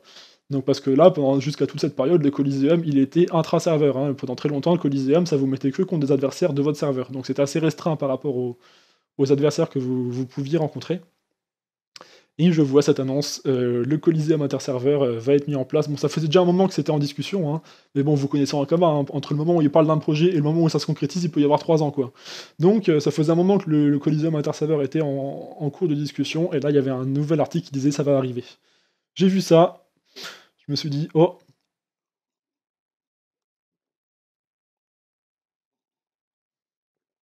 Je me suis dit, je peux pas ne pas jouer euh, sur ce colis interserveur parce que bon moi, moi c'est déjà à l'époque hein, ce qui m'éclatait c'était le c'était le Coliseum vraiment Et euh, dans ma tête, je venais juste de me dire, bon, bah c'est bon, c'est fini Dofus. Et là, je vois ça, et je me suis dit, ah, il faut que, il faut que j'aille fumer le Coliseum Interserver, quoi.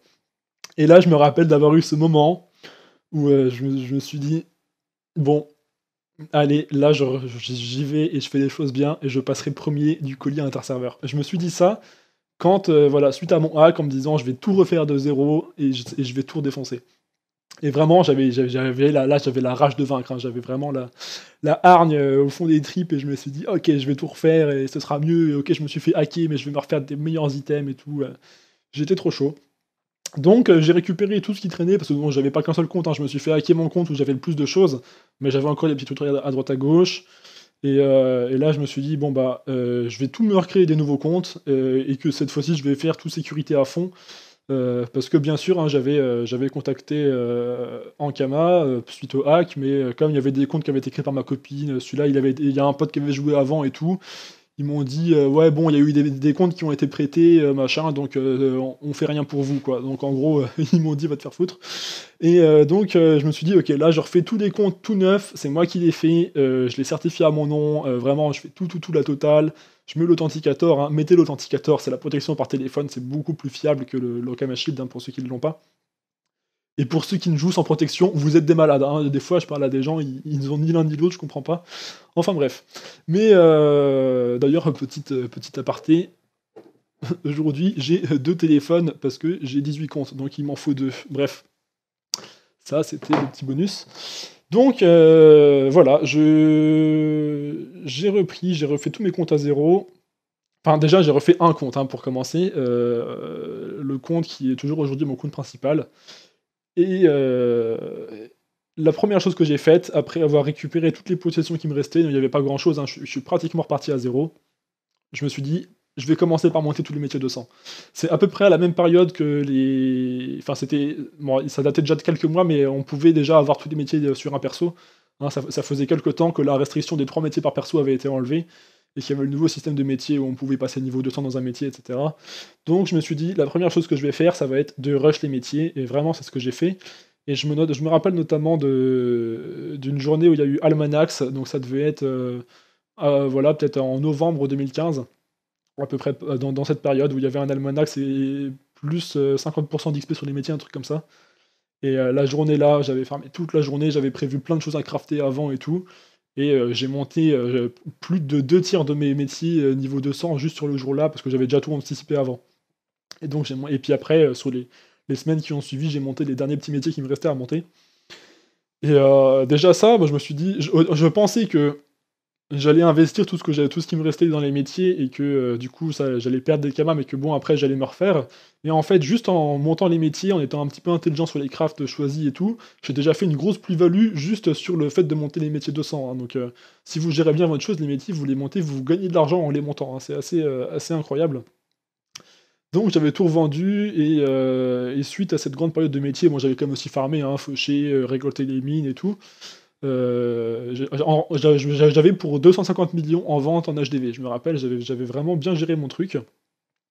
Et j'avais également monté la forge magie, mais euh, juste en faisant le yo-yo sur des. Hein, par exemple, vous prenez un item qui fait de la force et de l'intel, vous faites euh, plein de runes intel, après plein de runes force, après plein de runes intel. Vous faites le yo-yo entre deux lignes et vous prenez de l'XP, mais en fait, ça vous, vous, apprenez pas la forge magie, quoi. Donc j'avais monté aussi mes métiers de FM comme ça. Euh, et, une fois que j'ai eu tous les métiers de sang, je me suis quand même intéressé à la forge magie. Et c'est marrant parce que j'ai eu un blocage sur la forge magie, euh, un petit peu similaire à celui que j'avais sur le PVP pendant longtemps, à me dire c'est compliqué, c'est pas pour moi. Euh, voilà, et puis à, ne jamais franchir l'étape de se dire bah voilà, il y, a des choses à savoir, à comprendre. Mais bah, je peux le faire quoi. Une fois que, une fois que vous avez un petit peu compris, c'est pas sorcier. Hein, si d'autres le font, tout le monde peut le faire. Euh, ça passe quoi. Mais j'avais jamais franchi le pas de, la démarche de comprendre et d'essayer. Et euh, d'ailleurs, encore aujourd'hui, j'ai toujours la même chose sur l'élevage. Hein. L'élevage, c'est un truc que j'ai jamais touché et j'ai jamais vraiment franchi le pas de, de savoir comment fonctionne l'élevage et qu'est-ce que je pourrais en tirer. Mais bref, donc euh, je m'étais lancé sur la forge de magie et d'autant plus que bon voilà, j'étais en prépa maths, je faisais des calculs toute la journée, j'étais, j'étais, je me suis dit bon, je peux quand même faire de la forge de magie quoi, ça va.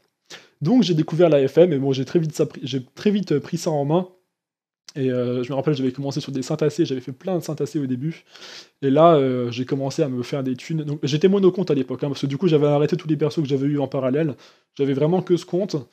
Et euh, là, je m'étais vraiment mis à faire beaucoup, beaucoup de camas monocompte. Et la Forge Magie, il y a une période où j'avais blindé tous mes HDV. Je prenais tous les items que je voyais qui étaient un petit peu dans le commerce. Hein. Donc à l'époque, c'était synthacé, pathogastrique. Euh, voilà, abominable, euh, pantouflemar, beaucoup d'items à occuper APM, donc c'était facile à FM. Comme je débutais, c'était très bien. J'en faisais plein, plein, plein. Euh, j'en avais, il y a une période en HDV, tous ces items un petit peu à occuper APM, facile à FM, je les avais dans tous les éléments Exorez. Hein. J'en avais un 3% feu, 3% terre, 3% eau, machin ou des 2% même, ou des trucs comme ça, et je mettais tout en HDV, et mes HDV étaient remplis. Et dès que j'en vendais un, et eh ben, je le refaisais. Hein. Si par exemple je vendais une synthèse exo pourcentaire, ben, j'en refaisais une directement dans la foulée, j'en mettais en vente, et à chaque fois je faisais du gros bénéf sur les. Voilà, je, faisais que, euh, j'achetais des ressources, je craftais, je forgeais ma je mettais en vente, et il y avait, euh, une grosse plus-value que je dégageais derrière, ce qui est toujours valable aujourd'hui d'ailleurs, hein, mais... Et, mais à cette époque c'était vraiment très très rentable. Et c'est comme ça que je me suis fait énormément de kama. Et j'ai commencé vraiment à bâtir le, début de ma fortune, quoi. Et euh, donc en, parallèle de ça, je faisais mes FM de mon côté, des items que je craftais et que je mettais en vente. Mais j'étais aussi toujours dans les listes d'artisans, donc je passais mon temps à faire des crafts. Hein. Des crafts, euh, je m'en suis fait. Bah, enfin, mon, tarif a toujours été le même pour les crafts, c'est 90 000 kamas le craft. C'est ce que j'ai toujours mis. Euh, pourquoi? Parce que je me suis dit, je veux faire payer le plus cher possible, hein, forcément. Mon but, c'est de gagner des, des kamas.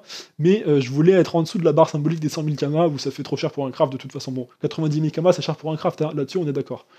Mais euh, encore une fois, hein, pour le même, le même discours que j'ai eu sur le PL à la fin de ma vidéo tutoriel Nidas, pour un joueur qui propose un service contre rémunération, le meilleur prix, c'est le prix le plus cher auquel il a des clients. Donc, n'ayant pas non plus envie de m'interrompre toutes les deux secondes pour aller faire des crafts, parce qu'il y en a qui se rendent pas compte, mais avoir deux métiers niveau 200, c'est pas pareil que tous les avoir, vous êtes sollicité vraiment très très régulièrement. Donc 90 000 Kamal Craft, et euh, j'avais, pendant très longtemps, j'ai eu facile euh, une centaine de crafts par jour, ce qui fait euh, déjà 9 millions de Kamas qui rentrent juste avec les crafts par jour. Donc ça, c'était déjà assez énorme. Et en parallèle de ça, j'étais tout le temps référencé dans la liste des artisans pour la forge magie, et euh, assez rapidement, je me suis fait une réputation voilà, de, forge mage euh, motivé, euh, qui faisait à peu près tous les stuffs qui étaient demandés à chaque fois. J'arrivais tout le temps à sortir les jets qu'on me demandait sur la commande. quoi. Donc bah, je me suis fait beaucoup beaucoup de kama, et il y a une période où je faisais que ça, vraiment, je remplissais mes HDV, et je répondais à toutes les demandes, il y a plein de mecs qui me sollicitaient sans cesse, tu peux me faire ça, tu peux me faire ci, et, et j'arrêtais pas de monter mes tarifs, hein. il y a une période où je prenais aucun FM à moins d'un million de paiements pour le FM. quoi. Et euh, j'avais tout le temps plein de clients, plein de clients, parce que voilà, les gens, ils voulaient, euh, au bout d'un moment, ils savaient que je leur répondais exactement ce qu'ils demandaient.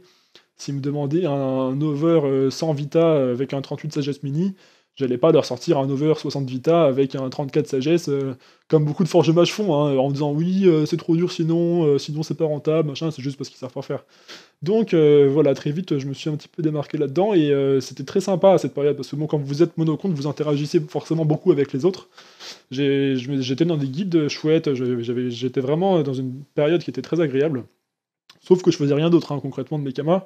Mais euh, voilà, j'avais beaucoup de confiance aussi, hein, comme quoi il y, a, quand même, euh, y a quand même de la confiance qui peut être créée sur un jeu comme Dofus. Et euh, il y a beaucoup de gars qui me filaient leurs items au bout d'un moment parce que voilà, ils me connaissaient bien. notamment des teams, je me rappelle, je me rappelle quelques fois des teams qui m'ont filé les stuffs de toute la team. Ils m'ont dit tiens je te les file et puis euh, tu me les redonnes quand c'est FM, même si c'est dans 2-3 jours, prends ton temps et puis voilà ce que je veux sur chaque item. Et donc les gars ils me filaient tout leur stuff et j'avais plein plein plein de trucs. Et, euh, et puis voilà, ils me faisaient confiance, c'était sympa comme ça, enfin, c'était un peu gratifiant aussi d'avoir euh, d'avoir ces retours.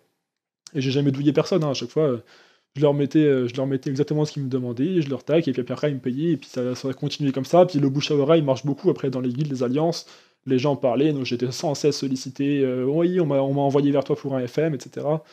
Et euh, voilà, donc il y a eu pas mal de, transactions comme ça sur lesquelles je me suis fait beaucoup de bénéfices. Et tiens, petite anecdote qui me revient comme ça également, euh, complètement improbable. Un jour, un mec qui veut que je lui FM une amulette aimentaire de luxe, donc bon, c'est un item assez compliqué à faire il me donne le jet qu'il veut et tout, et, sauf que le jet qu'il voulait était très facile à atteindre. Hein. C'est un item qui peut être très compliqué quand vous voulez avoir quelque chose de très propre avec un exovita dessus par exemple, mais il était très peu exigeant sur le jet, et étant donné qu'il y a un PA de PO de Zinvo, enfin ça se fait bien quoi. Et euh, donc je lui dis bon bah ok, et j'ai même pas le temps de parler du paiement, que le mec il met son amulette, il me met 10 millions de cabas en paiement, il valide. Ça m'a pris 5 euh, minutes et il m'a payé 10 millions le, FM quoi. Enfin, j'en revenais pas, j'avais pris un screen, j'avais envoyé à tous mes potes et tout, j'étais incroyable. J'ai rien demandé, le mec il me met 10 millions de paiements, c'est sympa. Enfin bref. Voilà, et euh, suite à ça, euh, bah, du coup j'ai repris un Eniripsa. Donc pareil, j'ai refait un nouveau compte, tout bien, tout propre, certifié à mon nom, toutes les protections dessus, tout nickel. Et donc ça c'était mon ennemi que j'ai remonté en stuff similaire en OR, un peu comme celui que j'avais avant, j'avais repris d'ailleurs des items que, j'avais gardés. Et euh, là j'ai commencé à faire beaucoup plus de Coliseum, parce que du coup je commençais à avoir euh, des kamas pour me stuff, j'ai pu me faire mes FM comme je voulais. Et euh, donc voilà, je jouais. Donc là mon yop, enfin mon, perso principal, c'était pas un yop, hein, c'était un sacrieur toujours. Hein. Donc, euh, je jouais en Sacri Eni, et puis euh, je, tournais avec d'autres personnes après en troisième personnage. Là, je, m'étais fait des potes, hein. souvent je me mettais en aléatoire, donc ça me mettait quelqu'un de random. Et puis parfois, il y en a certains avec qui j'ai sympathisé, que j'ai gardé. J'ai notamment longtemps joué avec un, un euh, qui, était, qui était vraiment sympa. Et bon, on, rigolait bien, quoi, c'était c'était chouette on avait beaucoup joué ensemble. Et, puis après, là, j'ai rencontré euh, High You, qui est un Osamodos de mon serveur, vraiment sympathique. On a beaucoup joué ensemble à une période et on, avait pas mal euh, performé en termes de, de sur Mani. Hein. on était sur le serveur Mani encore à l'époque. Et c'était vraiment une super période. On s'éclatait, il y avait beaucoup de discussions entre les gens. On était pas gros à parler du PVP, de la méta. Et puis le, le, gameplay général était beaucoup plus agréable que ce qu'il y a aujourd'hui. C'était beaucoup moins cancer, il y avait beaucoup moins de problèmes d'équilibrage. Euh, c'était vraiment chouette, quoi. le jeu ne buguait pas et tout, c'était parfait quoi. Voilà, donc euh, j'ai continué comme ça. Euh, donc là, j'étais pendant la deuxième année de prépa, et donc j'ai ce souvenir aussi de ce fameux cours de physique. Où, moi, autant les maths, j'adore, autant la physique, bon, voilà, c'est pas trop mon truc. je, trouve ça génial, hein. jusqu'au jusqu'au bac, j'ai trouvé ça super. Mais après, en prépa, quand ça devient vraiment compliqué, euh, enfin, c'est pas que ça devient compliqué, mais ça demande de s'investir un peu plus que juste de calculer des trajectoires de planètes, quoi. Euh, j'avais pas suffisamment d'intérêt pour la discipline pour m'investir à fond dedans. Donc, moi, j'étais un peu au fond de la classe, comme ça, euh, en mode je fais ma vie. Et j'étais à côté de, mon ami, mon binôme de prépa, avec qui j'étais vraiment toujours. enfin, on, mettait toujours ensemble, qui s'appelle Edouard. Et euh, donc on était tout le temps au fond en cours de physique, et puis on, parlait de tout et de rien, mais, sauf... Enfin non, on parlait beaucoup du cours de physique, mais on parlait beaucoup. Et, euh, puis un jour, on était... Euh, je, crois que c'était un cours de mécanique quantique, et on avait un exo à faire, ou de thermodynamique, oui, peut-être thermodynamique plutôt. On avait un exo à faire et tout, avec des, des compressions, dilatations et tout, de trucs. C'est vraiment le genre de machin. J'aime beaucoup écouter les concepts et les comprendre, mais par contre, euh, quand ça devient vraiment euh, mise en équation calculatoire et tout, ça me, ça me saoulait un peu. Et euh, donc j'étais au fond, il fallait faire l'exo, et donc moi je, je, prenais ma feuille et puis je grattais des trucs. Et mon ami Edouard, qui était à, côté de moi, il, regarde, il, me, il regarde ma feuille, mais mais Edouard, il est pas con. Il, a bien vu que ce que je faisais, c'était pas du tout l'exode physique. Et euh, il regarde et il me dit, mais qu'est-ce que c'est? Et en fait, ce que j'étais en train de faire, c'était je prévoyais mes stuff sur Dofus, bien sûr. Et euh, sauf qu'à l'époque, j'utilisais pas du tout de Dofus Book, de Dofus Planner, de choses comme ça, ce genre de, site hein, qui vous permet de, créer vos stuff et de, réfléchir dessus. Moi, je faisais tout en manuel. Donc, euh, je me faisais mes tableaux avec euh, PA, PM, PO, Intel, pourcent res, machin, etc. Et je les faisais à la main et je connaissais tous les items par cœur parce que je passais mon temps à Forge de Magie. Donc, je créais mes stuff en cours de, en cours de thermodynamique comme ça. Donc, il voit ça, il me dit Qu'est-ce que c'est? Je, lui réponds en rigolant Ouais, bah, c'est mes stuff sur Dofus et tout. Et là, il me dit Quoi? Tu joues à Dofus, euh, machin? Moi, j'y ai joué longtemps. Il commence on commence à discuter. Et là, ce fameux moment où il me demande et t'as combien de kamas sur Defus? Et là, je le regarde, je lui réponds, bah quelques milliards, et il éclate de rire. On s'est tapé une énorme barre au, fond de la classe, comme ça. Bon, le prof, il nous a niqué, bien sûr, mais bon, ça, c'est pas grave. Et donc, le soir même, il se, faisait son perso, il est venu jouer avec moi, il était là trop content de reprendre avec moi. Et donc, je lui ai fait lire un paquet de kamas et tout. Et euh, il a fait son personnage Gulou, voilà, donc euh, que vous avez vu dans mes vidéos à certains moments, et on a beaucoup joué ensemble, on s'est bien éclaté. Et euh... ah, c'était c'était vraiment chouette quoi. Donc euh, voilà, j'avais mon très très bon pote IRL qui m'a rejoint sur le jeu. Et euh, donc suite à ça, je continuais, voilà, colis, Kama, métier à fond, et euh, bon, j'avais tout le temps le, donc mon sacrieur, mon ennemi, puis un, troisième perso qui, changeait tout le temps à côté. Et je me suis dit au bout d'un moment, bon bah voilà, je, vais pouvoir me faire un perso de plus, de toute façon j'ai largement de quoi le stuff. Donc là, il y a le, un Feka, Feka Feu qui est arrivé dans ma team. Je me rappelle d'ailleurs que je l'avais monté sur des cap Ben, Parce que après avoir longtemps farmé à Free Ghost sur les... dans la forêt enneigée, euh, non, forêt des temps perdus, euh, j'ai vu que les captures Ben le étaient plus intéressantes en termes d'XP. Pendant longtemps, je me suis dit, bon, bah, je gère pas. Sauf que, euh, en fait, j'ai essayé et je gérais largement. Donc, euh, bah, j'ai monté mon FK comme ça. Donc là, j'étais plus à Frigos, mais j'étais en arène sur des captures. Et là, il y a une période qui a commencé assez sympa où j'ai un peu compris qu'il y avait une économie aussi derrière l'XP. Ce, ce qui avant, pour moi, pour moi Dofus, c'était vous jouer vous avez votre perso, vous faites des combats, des quêtes, des succès, je sais pas trop quoi, puis vous gagnez des kamas, de l'XP, et voilà. Et à aucun moment je m'étais dit qu'il y a des mecs euh, qui se mettent en full sasa et puis euh, qui payent pour XP. Pour moi, c'était complètement aberrant. Donc, euh, ou même de payer des captures pour XP. Donc, j'ai quand même essayé quelques captures Ben pour voir, parce que tout le monde me parlait de ça, me dire c'est mieux que d'XP dans les zones et tout. Bon, j'en ai fait quelques-unes, je m'étais dit bon, effectivement, c'est pas mal. je les gérais pas trop mal. Je les gérais avec Sacri et Ni. Donc euh, bah voilà, mon Sacri qui se boostait, euh, qui se boostait à fond avec les châtiments. Il était passé terre-feu, je crois, à l'époque. Je jouais avec des daguerries euh, full, boosté au châtiment, un coup de daguerrie monstrueux, et puis je jouais pieds de sacrieur absorption. Enfin, c'était l'essor de l'époque, hein, maintenant tout ça, ça n'existe plus.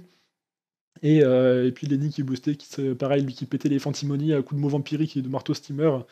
C'était génial. Et donc là, j'ai commencé à en faire quelques-unes, mais je me suis dit, bon, c'est pratique pour XP, c'est vrai, mais d'ailleurs, je, tapais à peu près du 100 millions d'XP par capture en panneau sagesse avec challenge, hein, c'était les meilleurs que j'avais fait, donc c'était quand même correct.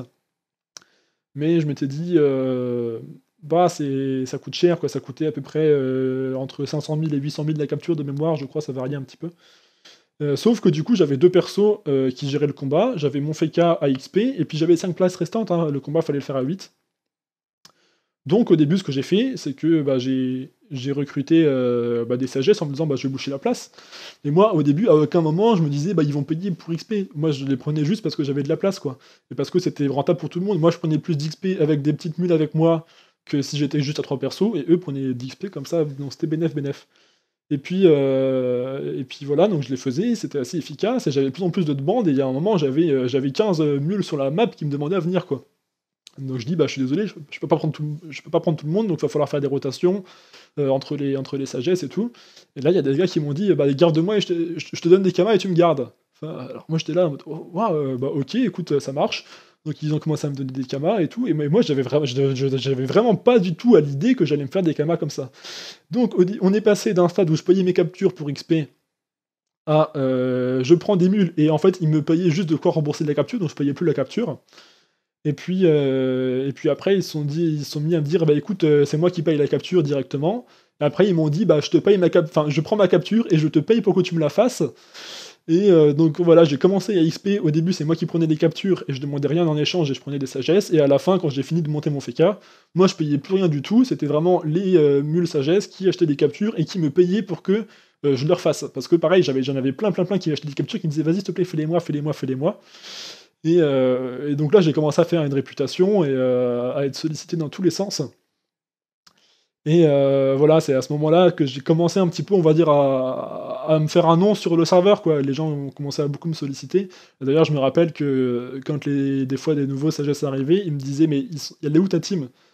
Pour faire le donjon Et je disais Bah, c'est juste mon ennemi et mon FK, quoi. mon ennemi et mon sacrière. Et ils me croyaient pas que je gérais le donjon Enfin, le, la capture Ben le ripat, en plus on était avec Idol, on était à un score 400 et quelques, un truc comme ça à l'époque. Et il me croyait pas que je le faisais avec deux persos, donc à chaque fois il fallait qu'il regarde un combat en spectateur, et en fait, effectivement, les, mobs jouaient, je me faisais éclater, mais comme il y avait le sacrieur qui avait les châtiments à l'époque et qui se boostait, ah, je démontais les mobs au bout d'un moment, et c'était super efficace, quoi. Donc euh, voilà, j'ai fait, j'ai commencé à, à, me faire un peu des kamas comme ça, donc du coup j'ai Ouais, j'ai monté le FK 200 sans trop de soucis en termes de, en, termes de finances. Ça m'a quand même pris un paquet de cap ben, hein. j'en ai, ai mangé beaucoup. J'en ai mangé beaucoup des cap ben, mais euh, c'était génial. D'ailleurs, c'est un de mes plus gros regrets, c'est de ne pas en avoir filmé une. J'aurais bien aimé avoir euh, une euh, capture ben ripat filmée, parce que je, crois que j'ai dû en faire 2000, un truc comme ça. Donc, c'était un, un, c'est une grosse partie de mon passé de joueur, et j'en ai plus de traces aujourd'hui, je suis un peu deg. À, un point d'ailleurs où j'ai failli vous faire une vidéo récemment en mode euh, je refais une cap ben comme à l'époque et tout, mais bon, je me dis ah, ça servirait plus à rien, puis j'ai plus les mêmes persos, ça n'a plus le même charme. Donc euh, voilà. Et donc là, ça a commencé à, pas mal parler de moi. Là, c'est une période où j'ai commencé euh, des fois à, devoir bloquer les messages que je recevais parce que je, ça, me, ça me spammait trop. Et, et, notamment, je suis tombé sur. je suis tombé un jour sur un truc, je crois qu'on me la link que ça fait bizarre quand vous, on vous vous y attendez pas et vous tombez, euh, vous tombez sur ça euh, qui a été écrit sur vous. je vous montre ça tout de suite, je vous le lis. Donc c'est quelque chose qui était sur le forum d'une guilde. alors je sais même pas c'est quoi la guilde, on m'a juste envoyé ça. alors je sais pas qui c'est qui a écrit, j'ai aucune idée de qui l'a écrit, vraiment, mais c'est toujours assez drôle, ça me rappelle vraiment cette époque où où ça a commencé, ça parlait tout le temps de moi. Je me rappelle, je, passais au zap, euh, je passais des trucs, il y avait toujours mon prénom qui revenait partout, enfin mon, pseudo plutôt. Alors, Griffox, le seul et l'unique. Le sort Doom ne tue pas Griffox. Griffox peut infliger des deux poux au Royal Mood sans mourir, alors ça techniquement on peut si on s'aligne pas avec, hein, de mémoire. Griffox a réussi à infliger des dégâts au compte en le ciblant. Ça c'est possible aussi, hein, c'est euh, si vous avez une confusion horaire qui vous le permet. Le joueur qui choisit d'être Griffox ne sera jamais banni. Alors, j'ai jamais été banni, mais j'ai été hacké, donc je sais pas c'est quoi le pire. Les bots abandonnent en Coliseum s'ils tombent face à Griffox. Alors, les bots non, mais il y a une période où il y a beaucoup de personnes qui abandonnaient un colis quand ils tombaient contre moi. Griffox est inspiré des sorts MJ et caractéristiques MJ. Alors, MJ ça veut dire euh, maître du jeu. Hein.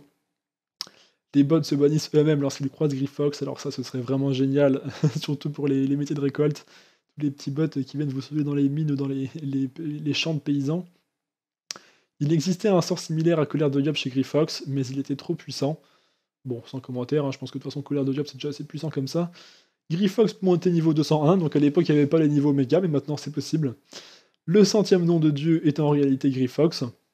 Griffox peut marcher sur l'eau. Sur deux probabilités, si l'une d'elles et Griffox gagne, l'autre l'est aussi. Bernoulli en sueur.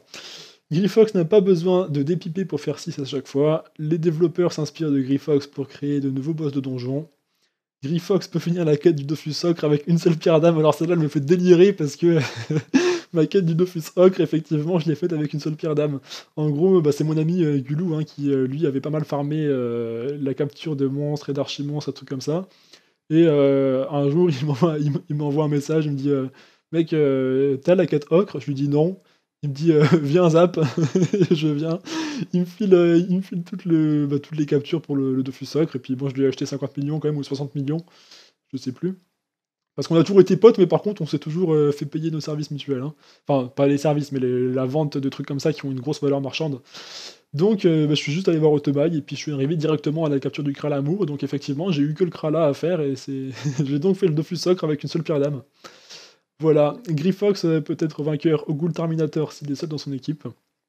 Euh, bon, le Ghoul Terminator, j'ai jamais fait justement parce qu'on peut pas être seul dans son équipe et moi j'aime pas trop être avec euh, des gens qui vont pas jouer comme je préférerais. Griffox peut taper au travers des murs et dans les murs. Griffox connaît plus de 10 filles IRL dans Dofus, alors ça c'est vrai, c'est assez drôle. D'ailleurs, euh, je connais des filles qui se font des pseudos masculins et qui se font passer pour des mecs parce que sinon elles se font trop emmerder par tous les dalleux qui traînent sur Dofus et qui n'ont pas vu une fille depuis des années. Et euh, à l'inverse, j'ai aussi des potes euh, qui se font des persos féminins et qui se font passer pour des filles pour se faire payer des trucs gratos, encore une fois par tous les mecs qui deviennent fous quand ils voient une fille.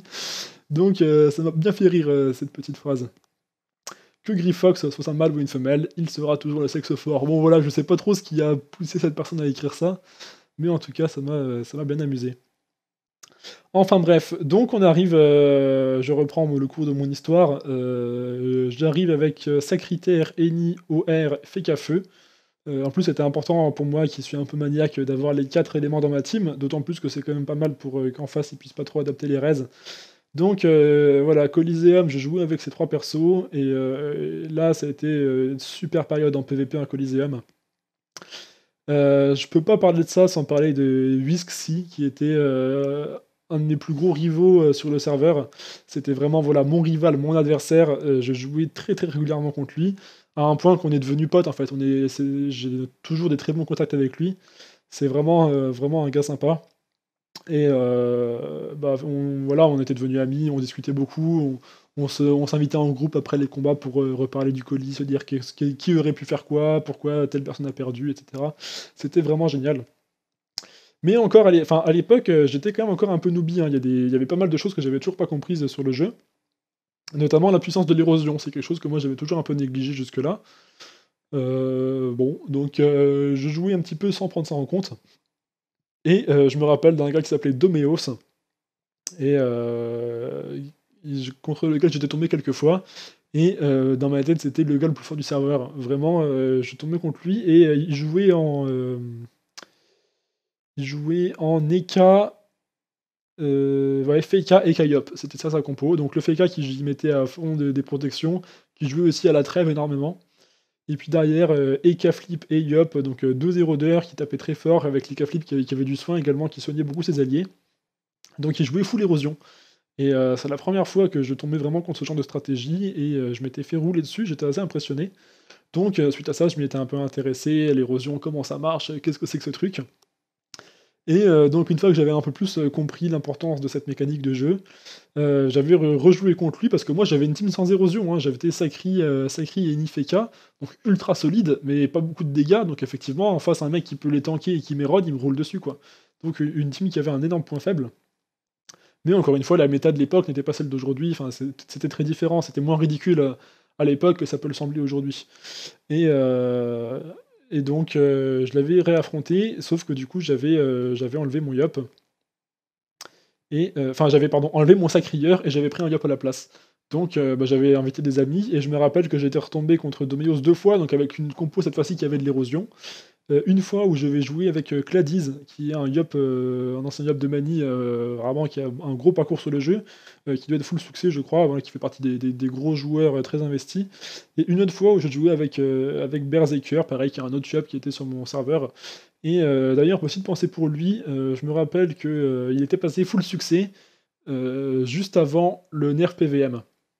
Donc c'était, en termes de chronologie, c'était après la sortie du, du Talcacha, et avant le nerf PVM où ils ont baissé la difficulté de tous les donjons euh, du jeu quasiment. Et euh, il était Yup et il avait réussi à passer full succès comme ça, et notamment il avait fait quelque chose comme 500 euh, tentatives sur Talcacha en duo, parce qu'il voulait pas reroll pour le passer, il voulait le faire en Yup. Donc il avait pris une incarnation pour, pour pouvoir gérer le combat, enfin bref, il s'était investi énormément là-dedans. Euh, et, comme, et, comme, juste après qu'il ait réussi à passer full succès, Nerf PVM, ça l'a dégoûté, je crois qu'il a arrêté de jouer du coup. enfin bref, c'est un peu triste de, cette mise à jour du PVM que j'ai toujours trouvé débile. Enfin bref. Donc euh, voilà, et suite à ça, bah, du coup, euh, en ayant pris conscience de la puissance de l'érosion, j'ai changé mon sacrieur en Yop. Et c'est comme ça que mon Yop, mon est arrivé. Et euh, donc là, on arrive en toute cette période, on, est, on était entre fin 2015 et début 2016. Et euh, là, j'ai eu vraiment l'âge d'or du Coliseum pour moi, c'était début 2016, où on était encore en Coliseum euh, intra-serveur, hein, voilà, c'était que sur Mani. Et là, je, gagnais quasiment tout le temps, et j'avais vraiment une compo qui était, bon, c'était ultra puissant, hein, j'étais en Enif et Kayop, donc euh, beaucoup de soins, beaucoup de protection, je jouais à l'érosion, donc euh, avec des persos ultra solides, hein. j'avais des modes à 40% res, euh, voire plus dans tous les éléments. Et d'ailleurs tout le monde pensait que je jouais en Dragoff à l'époque, j'ai jamais eu de casque Dragoff, mais j'avais juste des, des, stuffs qui étaient bien composés avec des exores dans tous les sens, mais tout le monde pensait que je jouais en Dragoff. Et euh, notamment entre janvier et mars 2016, j'avais fait 300 victoires consécutives en colis, donc sans aucune défaite. J'avais ma petite feuille à côté de l'ordi, et je mettais des bâtons comme ça pour compter mes, victoires, je me rappelle. Et j'étais arrivé à 300 victoires consécutives. Et, euh, et voilà, ça, a été, euh, ça avait été une sacrée période. Et je me rappelle que la perte qui avait cassé cette série de victoires, c'était contre un Sadida qui s'appelait Le Prodigieux, qui était vraiment euh, pour moi le, le meilleur sadique que j'ai croisé dans le jeu, qui jouait aussi à un Feka, euh, et, il jouait euh, avec l'Osamodas dont je vous ai déjà parlé avant, qui s'appelle High on You, et avec qui j'ai déjà fait des vidéos d'ailleurs. Et voilà, il, m'avait battu, et c'était eux qui avaient cassé ma grosse série de victoires. Mais globalement, euh, c'était euh, voilà, c'était parmi les seuls qui me tenaient tête sur le serveur, et sinon, bah, je, vraiment, je m'éclatais. quoi. Donc ça a, été une, euh, ça a été une super période où j'ai vraiment pris énormément de plaisir. Là, j'ai découvert vraiment ce que c'est d'avoir une grosse team solide, d'avoir de la reconnaissance sur un serveur, d'avoir un nom, quoi, d'exister, d'avoir beaucoup de contacts avec les gens, c'était vraiment chouette. Et donc c'est à ce moment-là que j'ai commencé à rush le ladder hein, de, sur Mani, donc sur le serveur de l'époque. Euh, j'ai notamment souvenir aussi d'un sacrieur qui s'appelait MDayer et euh, qui passait son temps euh, map agro à côté du village d'Amakna.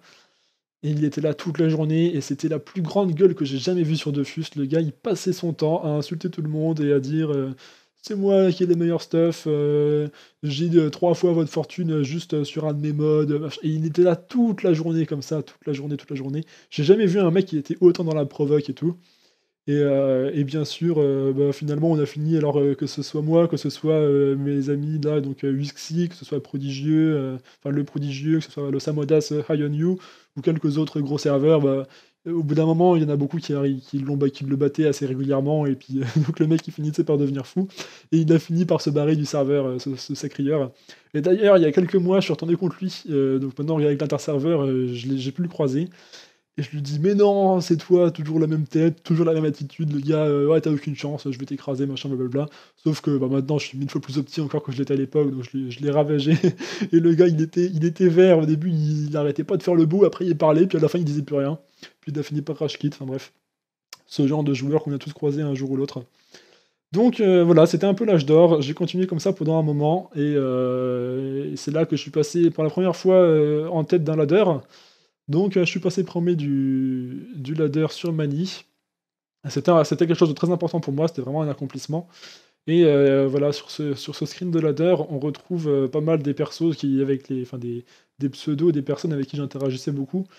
on voit, on voit Ninyasi, qui était donc un Eneripsa de Wixi, hein, ce, ce, joueur que j'ai beaucoup affronté, qui avait pareil toute une team avec des, des suffixes en SY comme ça, et qui doit avoir une team au moins aussi grosse que la mienne, je crois qu'il doit en avoir même beaucoup plus, il doit être vraiment pété de thunes lui.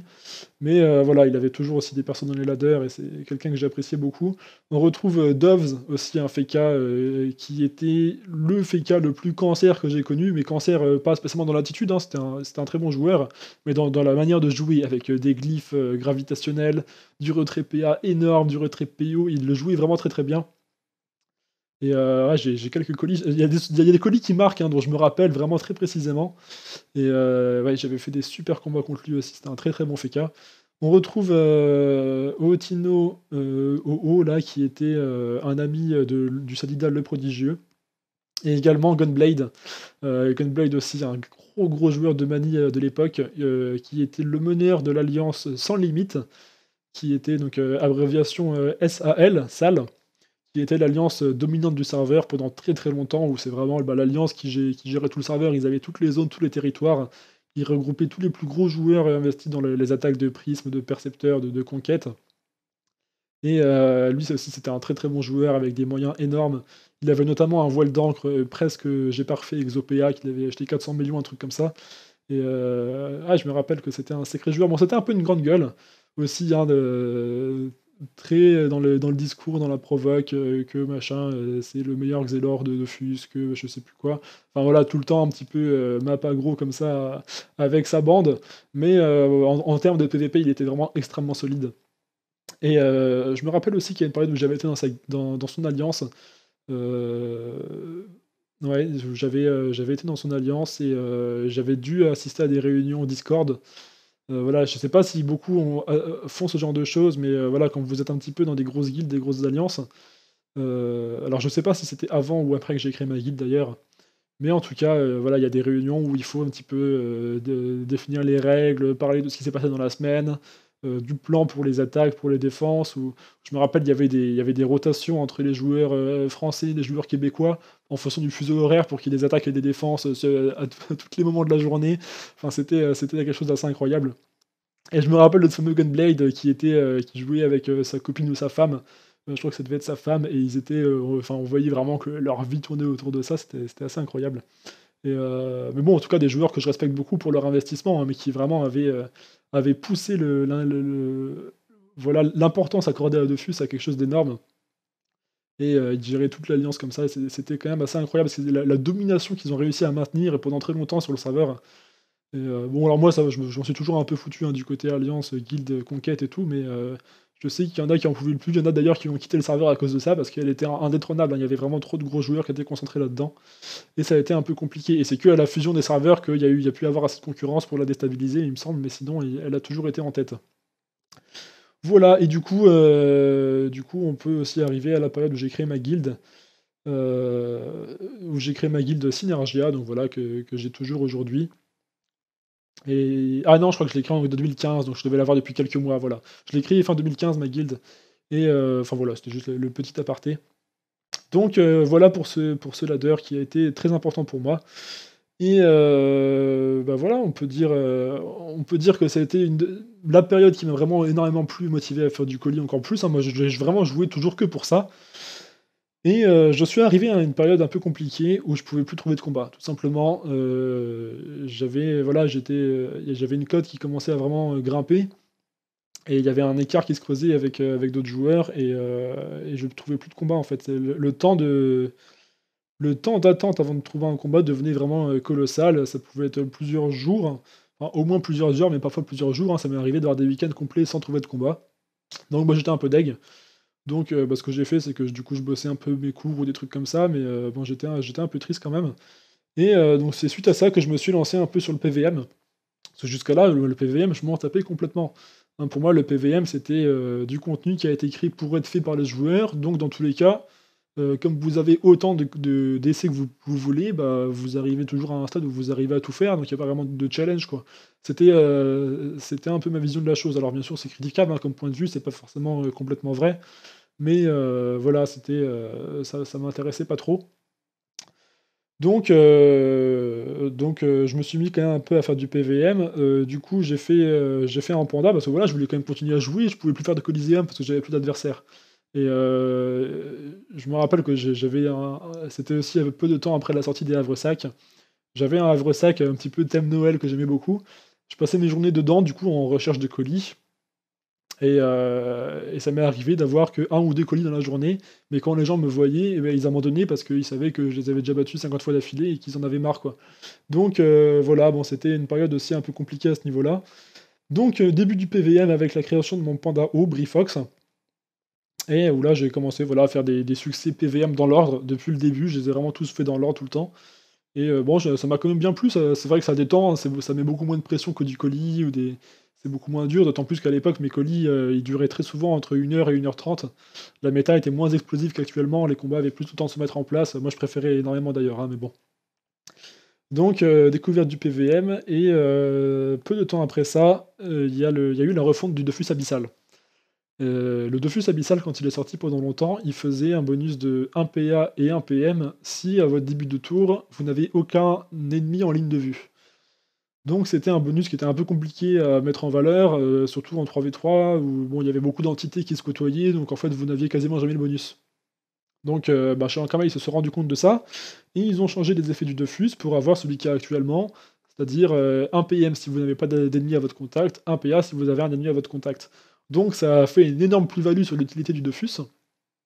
Et, euh, donc euh, bah, le, Dofus a grimpé en prix à quelque chose d'incroyable et il était à 180 millions à peu près. Il y en a, plusieurs qui se sont vendus à presque 200 millions sur mon serveur.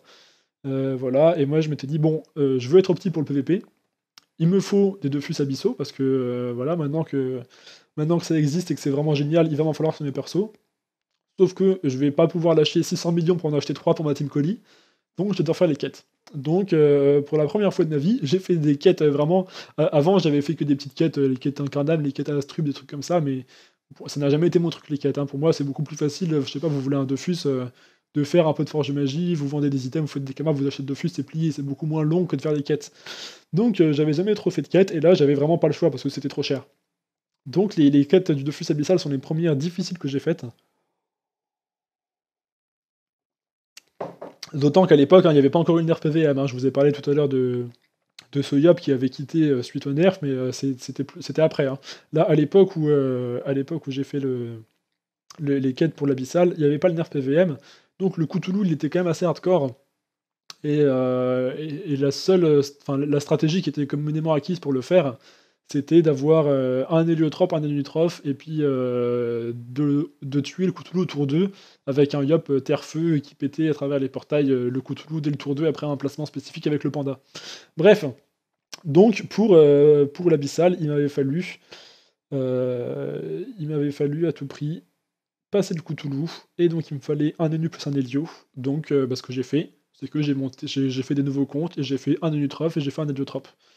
Voilà, donc là, ça m'a monté à 6 persos. 6 euh, persos, mais je suis en train de me dire que euh, j'avais fait aussi un Luginac avant. Il y avait le Luginac qui était sorti parce que je les ai fait sur Luginac les quêtes. Donc je devais déjà avoir le Lugi avant que j'avais monté en Cap Ben le Ripad, je pense. Ouais, ça devait être un truc comme ça. Donc en tout cas, voilà, j'avais les Nutrop et les Nutrop qui sont arrivés dans ma team euh, pour passer le Cthulhu. Et donc je l'ai passé, j'ai pu avoir, pu avoir mes deux fus abyssaux et j'étais super content. Et donc suite à ça, ça m'a fait encore des nouveaux persos avec la nuit Lélio et ça m'a encore plus chauffé à monter d'autres persos. Et donc là, j'ai repris les captures Ben Loripat. Et donc là, j'avais plus de persos, du coup, pour les faire de manière très efficace. Et, et là, j'ai commencé vraiment à faire euh, payer les sagesses qui voulaient venir, parce que de toute façon c'est eux qui proposaient pour venir, hein, mais euh, à augmenter peu à peu les tarifs, parce que le, voilà, l'offre et la demande faisaient que euh, je pouvais augmenter mes tarifs peu à peu. Et, c'est là que j'ai commencé à avoir beaucoup de réflexions du style de, personnes qui n'étaient pas des, mules sagesse des clients, mais qui me demandaient que je les ajoute en ami pour me regarder farmer les, captures, parce que voilà, j'étais quand même très efficace. Je les faisais à peu près en 3 minutes, je crois, les captures Ben Luripat, hein, ce qui était très correct. Ah, je prenais trois persos à peu près. Je crois que j'en prenais trois. Ouais, je devais juste prendre. Euh, euh, ouais, je prenais Sakri et Nifeka. Et après, je prenais Deliotrop aussi une fois qu'il a été monté et stuff. Donc, euh, trois ou quatre persos. Mais quand j'étais à trois persos, je le faisais à peu près en trois minutes. Donc, des personnes qui me disaient voilà, j'aimerais que tu ajoutes ton ami pour que je te regarde jouer. Donc, bon, ça fait plaisir quand on vous envoie ça, quand vous en avez plusieurs par jour. Que voilà, c'est assez glorifiant quoi, niveau, niveau de l'ego, ça fait plaisir. Et j'ai commencé à avoir beaucoup, beaucoup de réflexions. Euh, pourquoi tu fais pas une chaîne YouTube? Euh, Pourquoi tu te lances pas sur YouTube? T'as as un gros niveau en PVP, euh, tu fais plein de choses bien dans le jeu qui pourraient intéresser beaucoup de monde. Voilà, j'avais sans cesse, sans cesse, mais tous les jours, hein, tous les jours cette réflexion de par les gens qui me regardaient ou par les, mules, les clients que je prenais sur les sur les cap ben ou par mes amis avec qui j'interagissais aussi en Coliseum à certains moments. Euh, fais une chaîne YouTube, tu as des choses à proposer. Il y, en a, plein qui marchent sur YouTube et qui font des choses euh, qui sont moins abouties, moins travaillées et tout. Mais bon, enfin moi euh, j'ai toujours été assez discret à faire ça dans mon coin. Enfin, ça, n'avait même pas effleuré l'idée quoi. Donc au début je disais bah non, c'est pas dans mes projets, je vois pas l'intérêt et tout. Et puis, puis comme on forçait, on forçait, j'ai fini par me mettre une excuse et à dire bah je, je, me ferai une chaîne YouTube quand je serai premier du ladder Coliseum général. Euh, au, moins avec, euh, au moins avec un de mes persos sur leur classe. Quoi. Voilà, j'avais dit ça pour, juste pour évincer la question. Quoi. Et euh, donc j'ai continué comme ça pendant une période.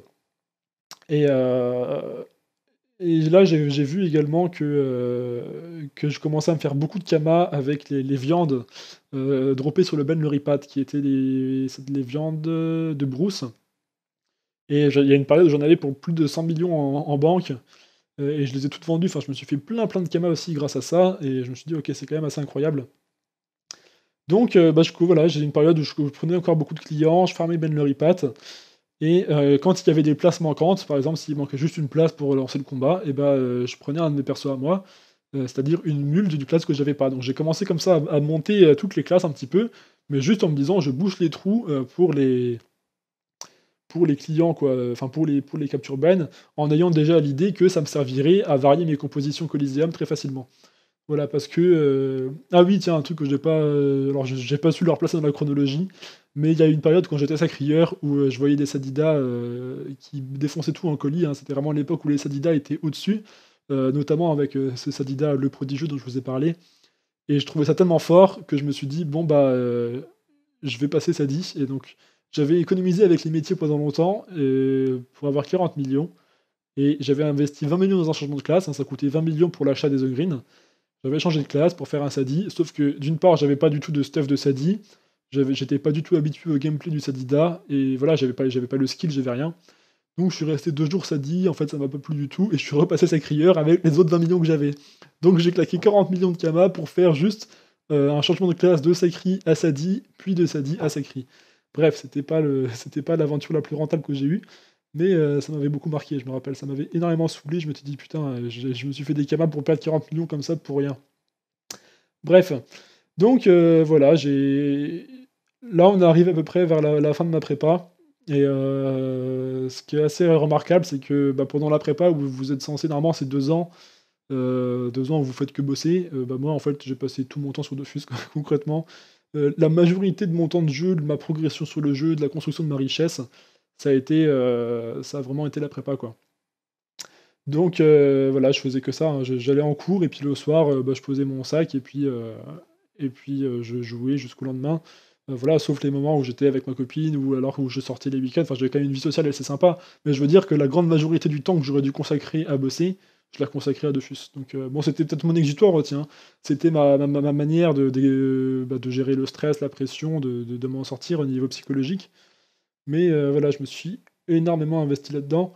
Et puis j'étais, l'époque aussi où j'ai été le meilleur en colis parce que bah, déjà j'étais voilà je faisais des maths toute la journée donc j'étais dans un état de, stimulation intellectuelle énorme permanente donc j'étais vraiment au, top de mes capacités voilà de, stratégie de, compréhension de calcul et tout et puis bah, j'avais un temps de jeu qui faisait que j'étais vraiment ultra calé sur tous les stuffs sur les sorts. Je, connaissais absolument tout ce qu'il y avait à connaître sur le PVP j'avais aucune incertitude chose que je n'ai jamais retrouvée par l'avenir hein. après j'ai jamais eu assez de temps de jeu en fait, depuis la, mise à jour des variantes de sorts, j'ai jamais vraiment euh, pu assimiler ça. Je connais pas toutes les variantes par cœur, alors qu'à l'époque, je connaissais chaque portée de chaque sort, si c'est la portée modifiable ou pas et tout, ce qui me permettait. Enfin voilà, vous voyez, ah bah tiens, il m'a fait une bulle à tant de portée. Euh, or, le sort bulle, il a tant de PO, donc il doit avoir plus tant de PO sur son stuff. Donc il peut lancer tel sort plus tard, donc je me plaçais en conséquence. Enfin, il y avait de la stratégie qui se construisait derrière, qui était beaucoup plus euh, poussée que ce que j'ai pu faire par la suite. C'était l'époque où j'étais vraiment le meilleur en colis. Et euh, voilà, je jouais sans faire d'erreur, et alors que bah, de, maintenant, c'est un peu moins propre. quoi. Mais bon. Donc euh, voilà, suite à ça, la, prépa, euh, la prépa s'est terminée. alors encore une fois, peut-être que la chronologie, hein, j'ai peut-être un tout petit peu inversé des choses, parce que je me demande si le Defus Abyssal n'est pas passé avec son état actuel après la fin de ma prépa. Mais bon, bref, hein, globalement, vous avez l'idée, hein, j'ai essayé de, de, remettre les choses au mieux dans l'ordre. Après, je suis arrivé dans mon école d'ingénieur, donc euh, en post-prépa. D'ailleurs, j'ai quand même eu mon, premier choix hein, sur, les, concours comme polytechnique. Comme quoi, euh, ça, a payé d'être sur Defus tout le temps, euh, plutôt que de bosser. Ça finalement, j'en suis pas trop mal sorti. Mais bon, j'aurais pu, pu quand même bosser un peu plus, hein, je vais pas vous mentir. Si certains, d'ailleurs, petit message, si certains hésitent à faire une prépa, faites-la et bossez. Bossez parce que ce sera quand même mieux pour la suite. Bref, donc je suis arrivé dans mon école et euh, bah là je suis arrivé donc dans mon appart en région parisienne. Et euh, parce qu'avant j'avais grandi à Nancy, hein, euh, voilà pour l'info. Donc je suis arrivé dans mon appart où là j'étais encore beaucoup plus, j'avais beaucoup plus d'aisance à m'organiser comme je voulais. j'avais une connexion d'internet bien meilleure. Là j'ai la fibre ici, enfin c'est nickel. Euh, j'ai quitté ma copine aussi quand j'ai quitté Nancy pour venir m'installer ici, voilà, j'ai estimé que euh, il fallait que je puisse euh, avancer dans ma vie et être libre. Donc voilà, c'était la période où j'ai pu j'ai eu plus d'aisance à mettre des choses en place, mais j'avais déjà, j'avais déjà moins de temps de jeu en fait, j'ai joué déjà moins à cette époque-là. Parce que aussi j'en avais peut-être moins le besoin d'exutoire quoi. Mais c'est quand même à cette période que j'ai commencé euh, à faire les teams de farm avec les cras. Euh, voilà, pour essayer un petit peu de découvrir cet aspect que j'avais jamais fait avant en fait. Hein. Je, me rappelle que c'est quand je faisais les quêtes du Dofus Abyssal que j'avais vu des cras qui farmaient énormément euh, dans les, zones, voilà, Meno, ça leur apportait. J'ai regardé ça, je me dis, ouais, ils sont quand même en termes de rentabilité un petit peu au-delà de la norme. Ça m'a l'air pas mal. Donc là, j'ai créé, euh, des teams euh, de crash, j'ai commencé à farmer, et euh, donc du coup, là, j'ai commencé à monter toutes les classes qui me manquaient avec le farm. Hein. donc c'est comme ça que j'ai pu avoir 18 comptes avec 18 classes, monter niveau 200. Et bon, ça a été quand même assez fructueux, mais j'ai gardé. Enfin, à côté de ça, je continuais les Coliseum, hein, bien sûr. Et là, le Coliseum interserveur était sorti, donc l'interserveur, hein, pour ceux qui ne voient pas trop ce que c'est, pendant longtemps, les Coliseum ont été internes à chaque serveur, vous pouviez tomber que contre des gens de votre serveur. Et euh, donc c'était la raison pour laquelle j'avais euh, repris Dofus euh, à la base.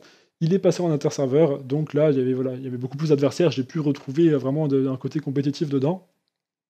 Et je faisais des super colis et j'avais la frustration de ne pas laisser de traces. Des fois je faisais des super colis d'une heure, super intéressants en termes de construction de gameplay, de stratégie, de, de focus, de gestion de l'érosion, de, je, trouvais ça génial, c'était vraiment des beaux colis, euh, je prenais beaucoup de plaisir et je me disais euh, des fois après, bah, c'est dommage de ne pas avoir de traces, de ne pas pouvoir les revoir, ne serait-ce que pour moi, pour étudier un peu les erreurs potentielles que j'aurais pu faire ou ce genre de choses. Et, euh, je me suis dit, bon, bah, ce serait quand même bien que j'ai une trace de tout ça. Et bah, voilà, dans à peu près la même période, j'ai continué quand même un peu à jouer et je suis passé premier FK du ladder en Coliseum. Euh, donc à, chaque fois que je parle de ladder dans toute ma vidéo, hein, c'est les ladders euh, euh, avec la code par équipe. voilà, c'est pour moi il n'y a que celle-là hein, qui, a vraiment du sens. Hein, les, autres, enfin, c'est le mode compétitif que veut développer Ankama. c'est le 3v3 équipe, donc c'est vraiment pour moi celle-ci qu'il faut regarder. Donc je suis passé premier du ladder en FK, en FK uniquement avec mon FK. Et le truc, c'est que j'avais dit à tout le monde que c'était à ce moment-là que je ferais ma chaîne YouTube. Sachant que je disais ça sans vraiment le penser, hein, pour moi c'était un peu pour évincer la question. Donc, euh, bah, ce que j'ai fait, c'est que j'ai créé euh, une chaîne YouTube, euh, voilà, comme, parce que du coup, tout le monde m'a envoyé des messages, toutes les personnes qui me suivaient un petit peu en jeu. allez, bravo pour le ladder et tout, bah maintenant tu vas pouvoir créer ta chaîne YouTube. Moi j'étais bon bah ok, allez, de toute façon je l'ai dit donc je le fais et puis ça me coûte pas grand chose quoi. Puis au fond de moi voilà j'avais envie de laisser une trace des beaux colis. Donc j'ai créé, cette, euh, cette chaîne YouTube et euh, au début bah, je mettais juste des combats euh, avec un vieux record tout pourri. j'avais, absolument aucune connaissance hein, dans cette, le, fait de faire des vidéos qui demande quand même un, savoir-faire assez complet. moi j'étais absolument novice là-dedans, donc les, premiers, les premiers, que premiers colis que j'ai mis en ligne, c'est des colis, il n'y a pas le son, il n'y a rien, il y a juste l'image quoi. donc en fait ça, ne servait pas à grand chose, si ce n'est que moi je l'ai regardé derrière après pour voir comment je pouvais m'améliorer éventuellement. Et euh, donc j'ai eu des retours, quelques personnes qui l'ont regardé, mais c'était très minoritaire, hein, c'était juste quelques personnes qui, voulaient vraiment voir ça, et qui m'ont dit quand même, euh, ouais c'est bien, mais ce serait mieux que tu mettes un peu de musique. Au moins qu'il y ait du son, parce que moi il n'y avait vraiment pas de son du tout. Donc euh, j'ai dit ok, j'ai essayé, au début, début je galérais comme pas possible, parce que du coup je, filmais mes colis, mon record ne prenait que l'image. De toute façon je jouais sans le son, parce que le son faisait laguer à l'époque, enfin de fus quoi. Donc je jouais sans le son, et derrière je rajoutais des musiques euh, libres de droit sur les vidéos, mais c'était ultra long, ça me demandait de faire de la recherche, du montage et tout, alors que je connaissais pas bien, enfin c'était euh, c'était un peu de la merde, mais bon je le faisais, puis j'étais quand même content de découvrir ça, enfin moi j'avais rien connu d'autre, donc c'était déjà assez, euh, assez stimulant pour moi, mais c'était pas quelque chose d'incroyable. Donc là j'ai fait des, vidéos de colis avec un peu de musique, et d'ailleurs, vous, les avez sur la chaîne hein, si vous voulez aller voir les toutes premières, mais bon, ce sera peut-être pas très agréable à regarder, mais si par curiosité vous voulez voir, vous pouvez regarder les toutes premières vidéos pour voir un peu comment ça s'est mis en place. Donc, euh, combat sans musique, euh, j'ai mis de la musique, et après on m'a dit euh, c'est bien, mais ce serait mieux si tu commentais. Parce que là, voilà, bon, on, regarde le jeu, il y a de la musique, mais bon, c'est pas très interactif, quoi. Ce serait bien si tu prenais un micro et que tu commentais en même temps et tout. Donc, bon, bah, je me suis laissé je, me, suis un peu euh, posé la question, euh, parce que c'est pas évident, hein, quand vous n'avez jamais fait ça, de mettre un truc sur internet où vous parlez, qui est du domaine public, euh, c'est un peu intimidant quand même. Donc, bon, ça faisait un petit peu son chemin dans ma tête, mais je me suis dit, ah, je vais pas, je vais pas faire le gars qui fait ses vidéos, qui commente sur internet et tout, c'est pas, pas mon style, c'est pas moi, enfin, il y, en a qui le font bien, mais moi je me voyais pas du tout faire ça, quoi. Et puis il y a quand même un jour, je passais à la FNAC, et puis j'ai vu un casque, euh, voilà, celui que j'ai actuellement, là, casque Razer, euh, Kraken, machin. Et puis, euh, au fond de moi, je me suis dit, ouais, j'en ai pas de casque. Et puis, c'est vrai que ne serait-ce que si vous êtes un petit peu sur Discord avec des potes, sur TeamSpeak, sur Skype ou je sais pas quoi, bah, ça peut toujours servir, quoi. Donc, je me suis dit, bon, bah, je l'achète, puis je verrai ce que j'en fais. Donc, je me le suis acheté. Et puis, il est resté emballé pendant des semaines sans que je le touche, parce que je, bon, voilà, je l'avais, mais sans plus, quoi. Et puis un jour, euh, je me suis lancé, puis je l'ai sorti, et puis j'ai quand même essayé de, faire une vidéo commentée. Alors la toute première, je l'ai sur mon PC, mais je ne l'ai pas postée. Je l'ai pas mise sur internet, elle était un peu pourrie. Et puis euh, bah, petit à petit, j'ai osé, quoi. J'ai fait la première qui est pourrie, hein. je, l'ai regardée euh, à nouveau. le, son est merdique, le, le commentaire absolument. voilà, je suis pas du tout à l'aise, mais c'est pas facile. C'est pas facile, hein, vraiment. Euh, les premières vidéos commentées de ma chaîne, euh, je suis en panique complète hein, à l'idée de parler devant une caméra. Enfin, j'avais pas de caméra, hein, mais à l'idée de parler euh, pour être mis voilà, en vidéo enregistrée sur internet et tout, pour moi c'était traumatisant complètement. Mais bon, j'ai pris mon courage à deux mains et puis j'ai fait quand même. Donc bon, ça a quand même plu, j'avais des retours détends-toi, détends-toi, détends-toi, mais ce qui est normal, enfin, n'importe quelle personne qui commence, forcément, elle est un petit peu en stress. Et puis euh, j'ai gagné en aisance quand même après, j'ai pris de plus en plus de plaisir, et puis je me suis dit, oh, c'est quand même bien, ça permet de partager un peu ce que je fais, j'ai des retours constructifs, euh, c'est chouette. Donc euh, bah, je me suis mis à commenter, et puis bah, vous vous dites bien, de toute façon, à chaque fois que je fais une étape, on me pousse à faire celle d'après, donc après on m'a dit, bah, mets une caméra, on aimerait bien te voir, on aimerait bien savoir quitter, là on n'a qu'une voix, mais ce serait bien qu'on puisse avoir de l'image, quoi. Donc, euh, bah pareil, un beau jour, euh, encore à la Fnac, je crois, je me suis baladé, j'ai regardé un peu les caméras, puis un peu sur un coup de tête, à l'état que j'en ai acheté une. Et puis, euh, bah, après, j'ai un peu bidouillé pour voir comment mettre le truc en place. puis en parallèle de ça, hein, j'étais attentif à la qualité de mes vidéos quand même, j'ai toujours essayé de faire quelque chose d'assez propre. Et bah, j'ai fini par mettre la caméra et puis, d'ailleurs la première vidéo où il y a la caméra, je crois que c'est une vidéo comment améliorer Dofus où j'avais un petit peu dit des idées pour, pour améliorer le jeu c'était la première fois que je me montrais, mon visage et puis, bah, c'était bien. Ça a été bien reçu, puis en fait, bah, ça change pas grand chose quand on fait des vidéos, enfin de toute façon, tout toute l'aventure YouTube, pour moi, ça n'a jamais été faire autre chose que ce que j'ai toujours fait sur Dofus, en fait. Juste le filmer et le mettre en ligne, mais ça n'a jamais impacté ce que je faisais en jeu. J'ai toujours fait la même chose. Donc bon, bah, ça m'a pas coûté grand chose de plus et c'est vrai que c'était sympa, donc je me suis mis à faire ça. Et puis après on m'a dit, «Ouais, c'est quand tu fais des lives, on voudrait devoir streamer et tout, tes vidéos c'est très bien, mais vas-y fais des lives, machin». Donc bah, je me suis un peu laissé convaincre pareil, j'ai fait quelques lives, mais ça c'était plus pour essayer, j'en ai pas fait beaucoup. Et c'est vrai que c'est très sympa, mais ça, ça prend du temps. Et puis quand vous êtes, une fois que vous êtes lancé après, c'est compliqué de pas se laisser bouffer sa journée, voire sa soirée parce que vous êtes en live et c'est vachement sympa, c'est très agréable à faire aussi en tant que en tant que joueur, là, il y a presque un côté addictif sur les lives, je trouve, donc il faut faire gaffe. Voilà, donc en parallèle de ça, bah, je faisais ma première année dans mon école d'ingénieur et et là, ce qui était marrant, c'est que mon école, c'est une école de mathématiques, informatique, finance. Donc il y a beaucoup de profils de personnes qui aiment enfin, c'est très compatible avec Dofus, quoi. Voilà, mathématiques, finance, info, enfin, Dofus, c'est un peu tout ce que ça ressemble. Donc il y a beaucoup de gens dans mon école qui jouent à Dofus, enfin qui ont joué ou qui jouent encore à Dofus et donc là, j'ai connu une période où il y a des gens qui venaient me voir en amphi, «C'est toi Grifox et tout?» moi j'étais là: «Bah oui, c'est moi», un peu impressionné ou des gens qui venaient m'interpeller sur le campus, enfin c'était un peu bizarre, mais en même temps, assez sympa. Donc voilà, j'ai un peu évolué comme ça et puis, bah, après il y a eu la période où, bah, après, de toute façon vous connaissez, vous avez les vidéos qui retracent un peu le parcours, où j'ai beaucoup joué en colis et là j'ai commencé à monter dans les ladders. Donc là on a, Lenny qui est passé premier Reni aussi, après j'ai changé le Feka, hein, je l'ai passé en en Xelor, enfin je l'ai remplacé par un Xelor plutôt. J'avais testé beaucoup de compos différentes également. Mais voilà, donc Lenny qui qui est passé premier, donc là on est en interserveur, hein, tous serveurs confondus. Euh, je retrouve aussi quelques pseudos qui m'évoquent des choses, hein, euh, Illustration, hein, qui a Illu, qui a toute une team avec, euh, Illu et des choses derrière en suffixe, vraiment balèze, qui qui m'a pas mal tenu tête pendant longtemps. là, on retrouve, quand je suis là, c'est la première fois que je suis passé premier du ladder, général. Enfin, bon, ouais, voilà, avec Lenny, c'était la première période où je l'ai été, hein, je l'étais resté assez longtemps. Et là, pareil, on retrouve, là, dans les pseudos, vraiment des gros, gros joueurs, que j'ai beaucoup affrontés. Bah, hein, Xeller, vraiment, monstrueux, je pense que beaucoup le connaissent, qui est à la fois en top ladder dans le ladder 3v3 équipe, mais également, je crois 3v3 solo et peut-être aussi 1v1. Lui, il joue sur tous les modes de colis et il a vraiment une très bonne maîtrise. Chaotique, qui est, un perso qui joue aussi avec, un roublard qui s'appelle Tupac et qui a été premier roublard aussi pendant longtemps, premier du ladder, euh, qui joue avec une compo roublard, Xel, Eni, et puis full boost son Xel full terre qui arrive avec un, marteau mettre des one shot et je me suis fait avoir quelques fois d'ailleurs. Avec un Xelor 23 PA, j'avais fait une vidéo là-dessus pour dire Oh, ça me saoule, je m'étais fait éclater complètement.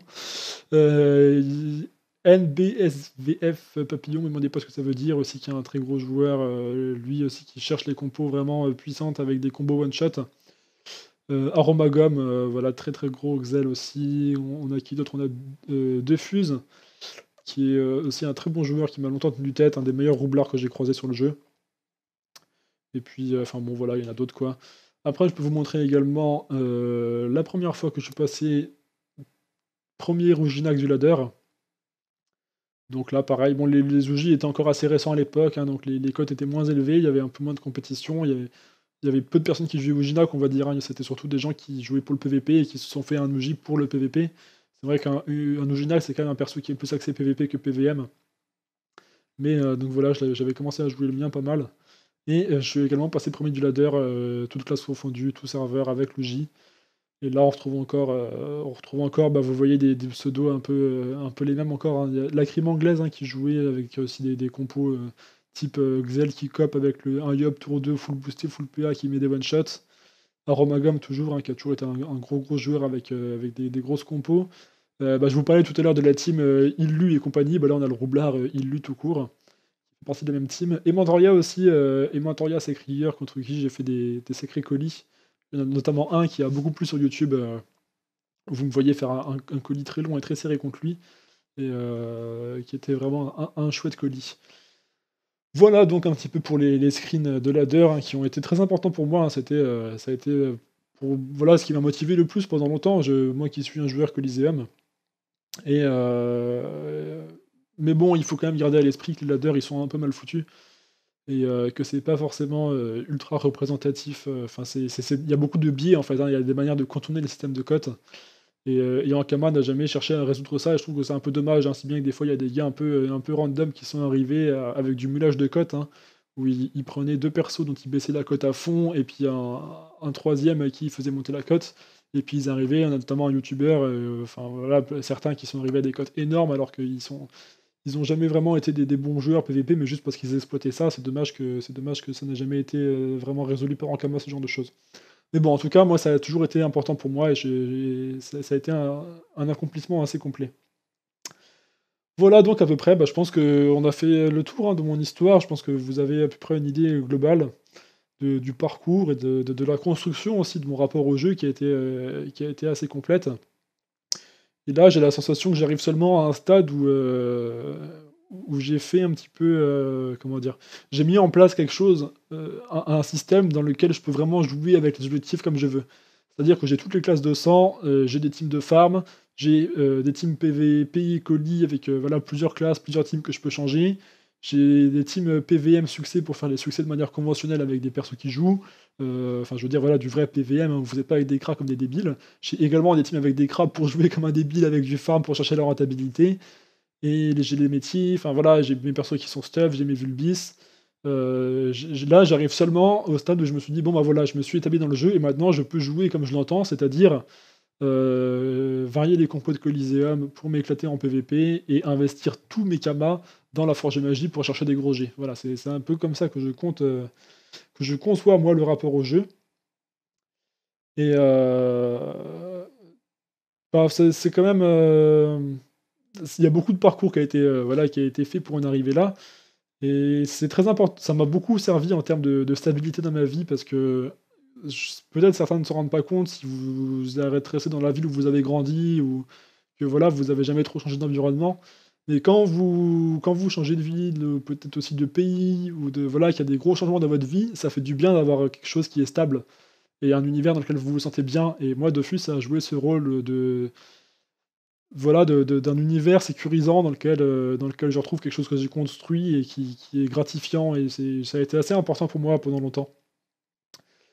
Et puis, euh, bah voilà, pour un petit retour aussi sur, euh, sur YouTube, j'ai juste en fait partagé ce que j'ai toujours fait sur Dofus, et juste j'ai fini par le mettre en vidéo, mais c'est jamais YouTube qui a conditionné ce que je faisais sur Dofus. Euh, c'est toujours, voilà, je joue à Dofus, j'ai mes objectifs, et puis des fois, bah, je filme et je mets sur YouTube. Mais il y en a beaucoup qui me qui m'envoient des messages, alors voilà, maintenant je suis encore beaucoup plus sollicité depuis que je suis sur YouTube. Il y en a beaucoup qui m'ont envoyé des choses du style... Euh, oui, tu devrais faire euh, des aventures de zéro, tu devrais faire des aventures sur serveur monocompte, euh, pourquoi tu fais pas du PVP 1v1 Pourquoi tu fais pas euh, du PVP bas level? Euh, Voilà, tout ça. Fais des astuces Kama, fais des vidéos aussi, des vidéos ça, avec tel concept. j'ai toujours expliqué que non, moi j'ai jamais fait YouTube pour faire des vues ou pour avoir une grosse chaîne, c'était juste pour partager ce que je faisais dans le jeu. Mais mes objectifs dans le jeu sont toujours les mêmes et c'est eux qui déterminent entièrement ce qui se passe sur YouTube. Je vais pas me mettre à faire des vidéos spéciales pour faire des vues ou pour faire je sais quoi, si ça n'avance pas dans mes objectifs dans le jeu. Voilà, ça c'est quelque chose d'important à préciser que beaucoup n'ont pas beaucoup compris. Et euh, je m'étais. Voilà, pour moi, là j'arrive à la fin de la, phase de construction et de test. Là j'ai passé récemment les, 10 000 abonnés. Euh, pour moi, euh, la question se pose seulement maintenant qu'est-ce que je fais? Est-ce que. Enfin, jusque-là, pour moi, c'était du test en fait. C'était juste, j'essayais un petit peu voilà, de partager les choses. Et maintenant, il y a, y, y a, plein de possibles qui sont devant moi. J'ai la sensation vraiment qu'il y a un, énorme potentiel parce que je vois que voilà, j'ai fait des vidéos qui plaisent beaucoup, j'ai des retours très sympas. Et euh, bah, j'ai l'impression que j'ai fait qu'une infime partie des possibles en fait de ce qu'on peut faire. Il y, a plein de choses que j'ai pas abordées. Euh, je vous en parlais tout à l'heure, j'ai jamais touché l'élevage dans Dofus, on pourrait faire de l'élevage, on pourrait faire beaucoup plus de séries Forge de Magie, on pourrait faire des tutos PVM sur plein de choses, du Coliseum, il y a plein plein de choses à explorer. Enfin, pour l'instant, j'ai fait qu'une toute petite partie, hein. j'ai fait un peu de FM, j'ai fait un peu de PVM de succès, de farm, et euh, du colis, mais avec des compos qui ont peu varié. Il y, a, moyen de faire des, des espèces de combos un peu spéciales, qui ça ça marche très bien sur, sur YouTube, hein, les les stratégies un petit peu impressionnantes, hein, très explosives et tout. Enfin, il y a énormément de choses qui pourraient être faites et je suis déjà très content d'avoir les retours que j'ai en n'ayant jamais cherché spécialement à percer ou à briller d'une manière ou d'une autre. Euh, quelque chose aussi qui est important euh, à préciser, c'est quand même les, motivations qui ont fait que, euh, que je me suis investi sur YouTube comme ça quand même, parce que bon, ça a été du travail.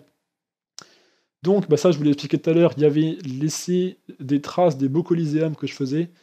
voilà, c'est pour moi, c'était quelque chose d'assez important de, garder des souvenirs, parce que bon, j'ai conscience que Dofus, j'y jouerai pas toute ma vie, et c'est des moments forts, il y, a des colis, c'est beau, enfin, je trouve que c'est beau, quand vous faites un, colis d'une heure vingt, d'une heure trente, euh, avec euh, voilà, contre des compos euh, Sadi ou ça, où il y a, des, gestions de l'érosion, de ne pas se laisser submerger par les invoques, un jeu qui se met en place, de focus, de. Enfin, des fois des colis, ils sont magnifiques. Il y a des fois où des colis, je les ai terminés, je me dis, waouh, bah, je me suis éclaté, quoi. J'ai passé un super moment, j'ai adoré. Et, et ça, j'avais vraiment envie de garder une trace de ça. Mais, et ça, ça va peut-être vous surprendre. Mais ce qui a vraiment le ce qui m'a le plus motivé et ce qui a fait que j'ai continué malgré le fait que bah voilà, j'ai pas forcément beaucoup de temps dans ma vie à consacrer à ça. Euh, d'ailleurs, vous avez vu, je vous expliquais tout à l'heure, que mon plus gros niveau en Coliseum, ma plus grosse maîtrise du jeu, c'était avant de commencer YouTube en fait. Et mon niveau n'a fait que décliner, euh, que décroître depuis que j'ai commencé à faire des vidéos. Euh, bah, voilà, pour les raisons que j'ai expliquées, que j'ai moins de temps de jeu, donc euh, j'ai pas forcément le temps de m'adapter au méta et de connaître parfaitement. Que aussi, quand on commente une vidéo en même temps qu'on joue, bah, on est moins concentré sur le jeu, forcément. Et, euh, que j'ai. Enfin voilà, et, que j'ai fait que, que la période où je faisais des vidéos colis, je faisais un colis par jour pour faire une vidéo, quoi. Mais j'étais pas du tout comme avant où ça m'était arrivé de, faire des journées où je faisais du colis non-stop, quoi. Dès que j'avais terminé, je me réinscrivais en colis. Donc là, vous n'êtes pas dans la même dynamique. Donc ce qui a fait que malgré le fait que j'ai beaucoup moins de temps à, y investir, j'ai continué euh, sur YouTube. C'est euh, que bah je me dirige vers une carrière d'ingénieur, ingénieur financier a priori, et je risque d'avoir euh, beaucoup à prendre la parole en public dans des réunions, devant des. Le rapport à l'autre, la manière de s'exprimer, c'est très important dans un contexte professionnel. Et moi, ça fait un moment que je suis assez sensible à ça. Et je trouvais que j'avais beaucoup de travail à faire. Euh, bah voilà, encore une fois, on revient sur mes premières vidéos que j'ai faites, où je trouve que je parlais mal, j'aimais pas du tout. Donc ça fait un moment que je travaillais un petit peu là-dessus. Et euh, j'ai pris des cours de chant quand j'étais au lycée pour apprendre aussi à gérer un peu le souffle, la voix. Il y a, tout un travail à faire. Euh, d'ailleurs, je suis un peu deck parce que là, pour cette grosse vidéo que je vous fais, je suis ultra crevé, j'ai la voix un peu cassée, donc bon, c'est pas comme je voudrais. Mais en tout cas, j'ai fait un gros travail là-dessus et je me suis dit, dans ma vie, euh, voilà, professionnelle, aussi personnelle, mais surtout professionnelle, euh, je veux pouvoir prendre la parole dans des contextes euh, stressants. Hein, être, voilà, vous êtes une réunion, vous êtes devant un comité, ou alors pour des oraux, pour soutenir, je sais pas, peut-être soutenir une thèse ou ce genre de choses, ou également des conférences. Moi, j'écoute beaucoup de conférences et ça me plairait énormément d'en faire par la suite. bah voilà, je me suis dit, bah là, j'ai la chance sur Defus de pouvoir euh, m'exprimer, parler et être visionné par beaucoup de personnes et avoir des retours sur ce que je produis. Et ça, pour moi, c'est vraiment énorme. Donc, euh, ça a été euh, la raison majeure qui a fait que j'ai continué les vidéos, c'est ça, c'est travailler l'expression, travailler l'aisance, travailler l'image aussi un petit peu, ce qui est quand même important. Donc voilà, je, pense que j'ai énormément appris là-dessus, j'ai fait beaucoup de progrès hein, quand je vois d'où je partais, je, je, suis assez content, moi je trouve qu'il y a encore un milliard de défauts euh, un milliard de défauts que j'ai, que j'aimerais bien pouvoir euh, travailler. Euh, voilà, des, des, fois, quand j'écoute mes vidéos, je me dis, mais c'est de la merde, j'articule mal, je dis pas les choses comme il faut, c'est, ça va pas. C'est... Bon, on est toujours critique vis-à-vis de soi-même. Moi, j'ai tendance à être, assez perfectionniste et, exigeant. Donc, voilà, mais globalement, j'ai des retours quand même plutôt encourageants. Et euh, bon, bah voilà, on va pouvoir euh, clore cette vidéo. On arrive, euh, elle arrive à son terme. Je pense qu'elle aurait été bien longue, mais j'avais envie de prendre le temps de vous parler un petit peu, de vous expliquer tout ça. Et je vais quand même vous parler des leçons que je tire de, mon parcours sur YouTube sur Dofus. Alors sur YouTube, il y a plusieurs phénomènes qui ont été vraiment intéressants à voir. Le premier, alors qui est peut-être pas forcément le plus impressionnant, mais c'est que j'ai euh, beaucoup appris de ma communauté. Euh, c'est-à-dire qu'au début, j'étais dans une optique à me dire j'ai euh, beaucoup d'accomplissements sur le jeu, j'ai déjà voilà, une compréhension de beaucoup de choses sur Dofus, et j'étais un petit peu dans la démarche de me dire: «Je vais proposer du contenu, je vais apprendre des choses aux personnes qui me regardent, mais c'est dans un sens, c'est moi qui apprends, c'est moi qui offre». Et en fait, ce que m'a appris l'expérience, et c'est une très bonne leçon de vie, je pense, c'est qu'en interagissant comme ça avec, un gros échantillon de public, et ben, j'ai eu des retours euh, des commentaires qui m'ont ouvert les yeux sur des choses que je n'avais, enfin, à côté desquelles j'étais passé, quoi. Euh, voilà, sur certains stuff, sur certains trucs que je faisais de manière euh, régulière. des fois, il y a une petite réflexion. tu pourrais faire ça, tu pourrais prendre tel item, par exemple, là, un truc qui me vient à l'esprit. Pour le, les cras en PVM, les, les stuff en farm, sur la toute première vidéo, j'utilisais une coiffe gour céleste, et puis là, on m'a dit, bah, t'as la coiffe Vodoutam qui est meilleure. Et donc j'ai fait une vidéo en me disant c'est moi qui offre à la communauté euh, le stuff que j'ai mis au point, euh, qui, me paraît optimal. Et euh, j'ai un retour qui me dit en fait ouvre les yeux, tu as loupé ça. Et ça je trouve que c'était bah, ça m'a beaucoup appris en fait à, plusieurs, à plusieurs niveaux ça m'a fait ça. Effectivement la Vodoutam pour le, pour le CRA, elle était, comme elle était bas niveau, je l'avais pas vu quand j'avais regardé les stuff, et effectivement elle est meilleure, elle a des meilleurs bonus. Voilà donc un exemple. Donc euh, en fait quand vous interagissez avec les gens et que vous, essayez euh, d'offrir, bah, vous avez toujours aussi quelque chose qui vous vient en retour et pas forcément là où vous l'attendez. Mais je pense que c'est quelque chose euh, qui est très important à prendre en compte. Également, il y a la gestion de, l'agressivité. la, manière dont les, gens m'ont perçu, je pense, a beaucoup évolué. avant que je commence YouTube, voilà, je vous l'ai dit tout à l'heure, j'étais. Euh, disons que la vie sur moi était très scindée sur le serveur. Il y avait des gens qui m'adoraient et des gens qui m'aimaient pas du tout. Et beaucoup qui me voyaient comme un gars qui met des tarifs chers sur, ce qui, voilà, sur les crafts, sur les FM, euh, assez dur en affaires euh, par rapport à la gestion économique et qui joue des compos très puissants en tant que Lyséum, avec des grosses raises et puis qui gagne tout le temps. Voilà, typiquement, la, période où j'avais fait euh, en début 2016 300 victoires consécutives, je me faisais insulter tous les jours, vraiment. Euh, il y avait une haine qui était en train de se construire contre moi. Euh, et, j'ai beaucoup réfléchi à ça, à me dire, mais comment ça se fait? On est sur un jeu, pour moi, chercher à avoir les compositions les plus fortes sur un jeu de stratégie, c'est juste normal. Le but de la stratégie, c'est d'essayer de maximiser tout et d'avoir les meilleures configurations possibles. Pour moi, c'est la base. Et euh, malgré que j'ai toujours, toujours été respectueux, j'ai jamais insulté personne, j'ai jamais été dans la provoque, j'ai jamais été euh, du genre à dire euh, ah je t'ai bien niqué, ah je te retourne quand je veux, je sais pas quoi. Jamais j'ai eu ce genre d'attitude qu'on voit beaucoup hein, sur les jeux vidéo. Et en essayant tout le temps d'être ouvert à la discussion, d'être toujours poli, de toujours dire bonjour, bien joué, de répondre à toutes les questions qu'on me posait, il y avait une grosse agressivité contre moi. Euh, et, je pense que ça venait peut-être en partie d'une incompréhension de, ma démarche. Et le fait d'avoir fait des vidéos, d'avoir essayé d'expliquer posément, les gens qui ont. Je pense que beaucoup des joueurs ont, appris à me connaître aussi en, me voyant évoluer. Euh, et, ça a détendu en fait les choses.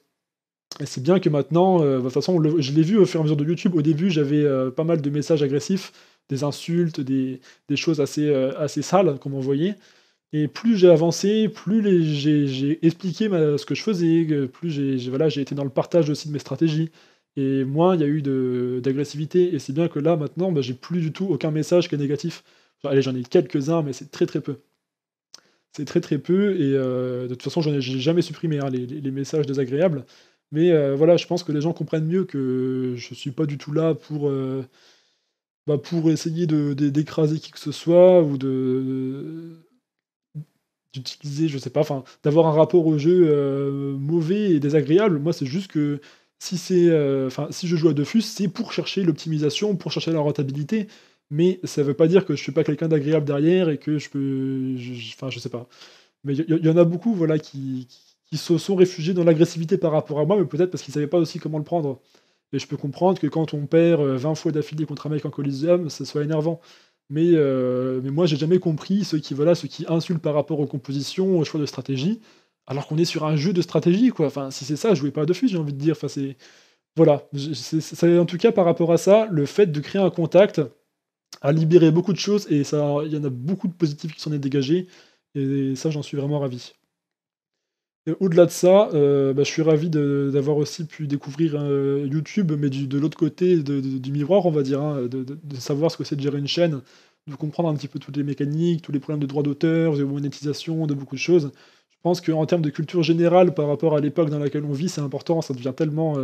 voilà, YouTube, Instagram, les réseaux sociaux, c'est vraiment quelque chose de, très important, d'autant plus que moi, par rapport à mon, mon orientation voilà, d'études professionnelles, euh, j'ai été amené à beaucoup, euh, beaucoup bosser là-dessus, sur tout ce qui est euh, structuration des liens, de comment se structurent les algorithmes de prédiction qui vous renvoient vers tel ou tel contenu. Enfin, je pense que pour moi, pour mon parcours et de manière plus générale pour de la culture générale, c'est important de bien comprendre ces outils et ça m'a beaucoup apporté moi d'avoir géré une chaîne YouTube. Ça, j'en suis ravi. Et j'en retiens aussi comme expérience que bah, en étant même quelqu'un de très, euh, enfin, d'assez introverti de base, euh, voilà, moi j'ai tendance, je suis, moi je suis le gars qui dit rien et qui réfléchit. typiquement, euh, je sais pas si je, il m'arrive un truc qui me frustre, je vais pas être le mec qui va gueuler, qui va extérioriser à fond. Moi, je, vais être rester impassible, mais cogiter dans ma tête, et puis un jour, bam, je sors une stratégie qui me permet de régler le problème et de battre le truc qui m'avait avant mis en échec ou je sais pas quoi.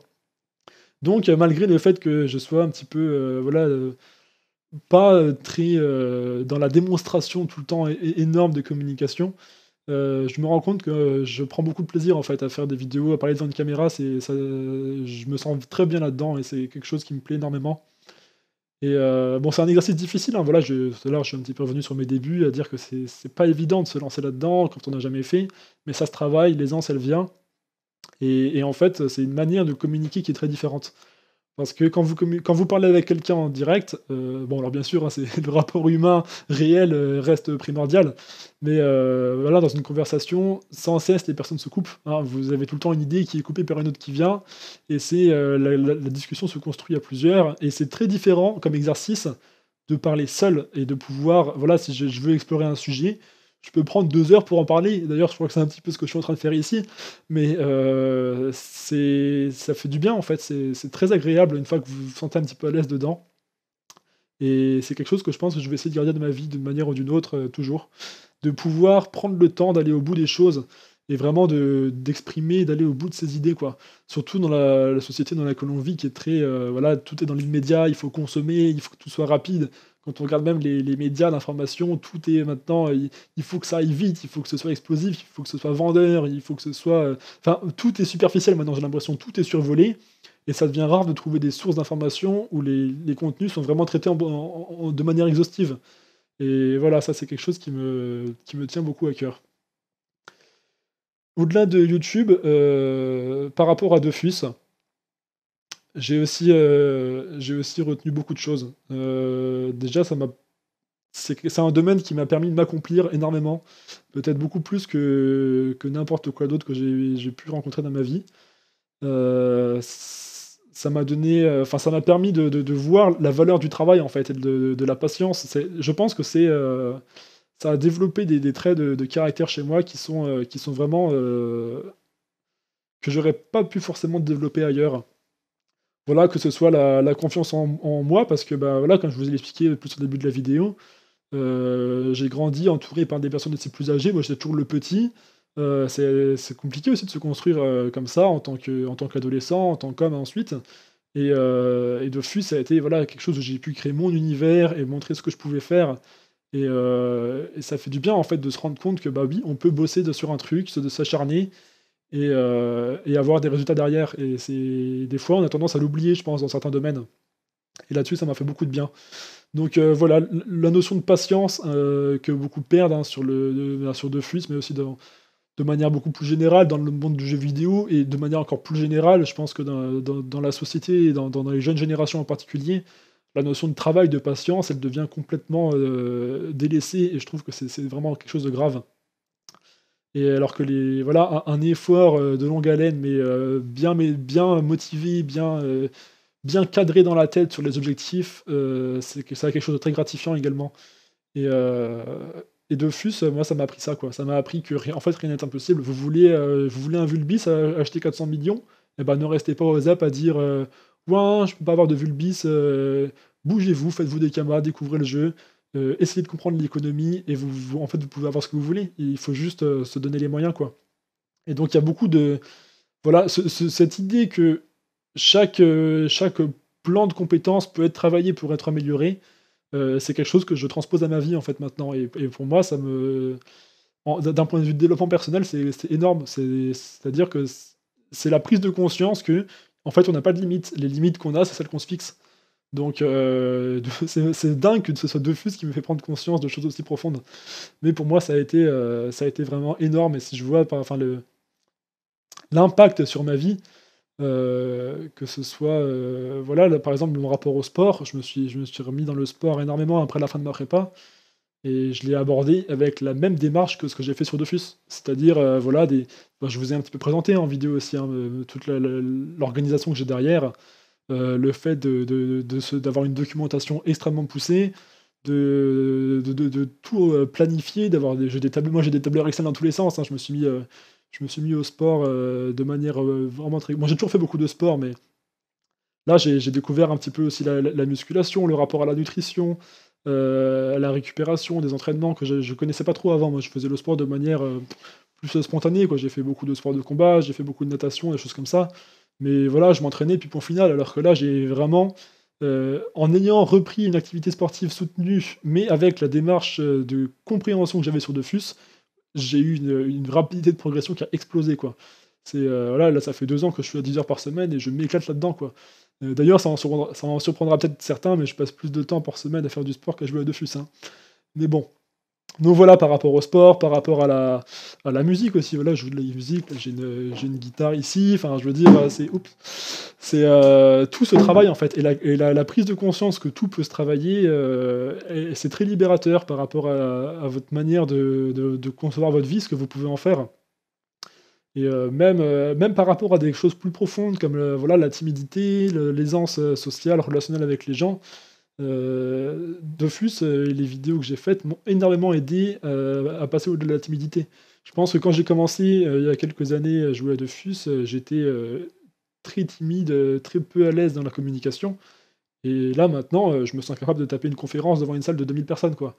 Donc ben voilà, c'est tout ce travail. Tout ce travail et rien n'est impossible. Il faut juste se remettre en question et se donner les moyens d'avoir ce qu'on veut. Et je terminerai, euh, je terminerai cette vidéo par même dire que euh, Dofus a euh, structuré mon orientation professionnelle, mes choix de vie. C'est-à-dire que je me suis dirigé vers la finance. bon, alors, c'est de toute façon parce que j'ai toujours adoré les mathématiques. Moi, je sais toujours su que ma vie, ce serait les maths. Mais voilà, les maths, c'est vaste. Et puis, qu'est-ce qu'on en fait derrière?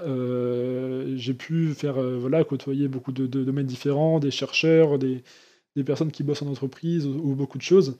Et euh, moi, ce que je voulais, c'était un domaine dans lequel on peut faire beaucoup de mathématiques, mais euh, qui ne ferme pas le rapport humain. Et ça, c'est compliqué dans les maths. Il y a beaucoup de métiers où, euh, bah, en fait, ça isole. Vous, devenez complètement renfermé dans des, schémas d'abstraction, de, de, manipulation de concepts avec lesquels vous ne pouvez communiquer avec personne. Et ça, c'est assez triste. Et je pense que la finance, c'est le domaine où il y a beaucoup de maths, mais qui reste très ancré dans la vraie vie. Il faut avoir conscience euh, voilà, de ce qui se passe au niveau géopolitique mondial, de, toute l'actualité de, la société, voilà, pour vraiment comprendre les, les schémas dans lesquels on évolue. Et ça, c'est Defus qui m'a, je pense, euh, conforté dans l'idée d'aller dans cette branche, parce que j'ai pris tellement de plaisir à manipuler l'économie, à comprendre euh, voilà, comment marchent des, marchés. Des, voilà, je parle beaucoup d'offres et de demandes, mais sur Defus, c'est quelque chose qui est primordial. Hein, l'économie de Defus, c'est quoi? C'est de la surgénération de Enfin, c'est de la surgénération, c'est ce qui se passe, mais dans les faits, c'est de la génération de ressources, de la destruction par rapport à d'autres personnes, un nombre de joueurs qui varie, avec des services qui peuvent être proposés, de la concurrence. C'est en fait, Defus, c'est euh, une économie à petite échelle c'est vraiment euh, c'est une société à petite échelle Dofus. Et il y a beaucoup de similitudes avec la vraie vie. Euh, pourquoi? Bah Parce qu'il y a des choses qui sont un peu dégueulasses sur Dofus. Il y, a, des personnes qui vont avoir plus d'expérience que vous, qui vont être beaucoup plus forts, qui vont vous passer devant. Il y a des personnes qui ont plus de moyens, qui mettent un coup de carte bancaire pour avoir des Kema et qui vous passent devant. C'est pas le c'est pas le monde des bisounours Dofus, mais c'est euh, je pense que ça reflète bien beaucoup de schémas qui se passent dans la vie réelle. Donc c'est je pense que ça a été pour moi une école de vie sur beaucoup de choses. Voilà, donc euh, ça a orienté mon choix. Et puis là, je suis en. actuellement, là, je suis en, double diplôme, je suis en école d'ingénieur et puis euh, je fais en parallèle un master de mathématiques, hein, parce que beaucoup de personnes me posent la question, donc j'y réponds ici.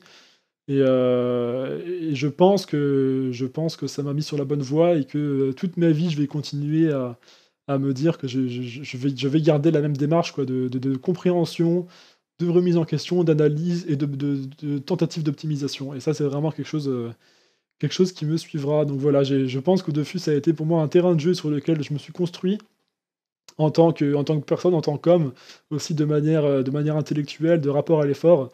Et maintenant, bah, j'ai qu'une envie, c'est d'aller faire pareil dans la vraie vie. quoi.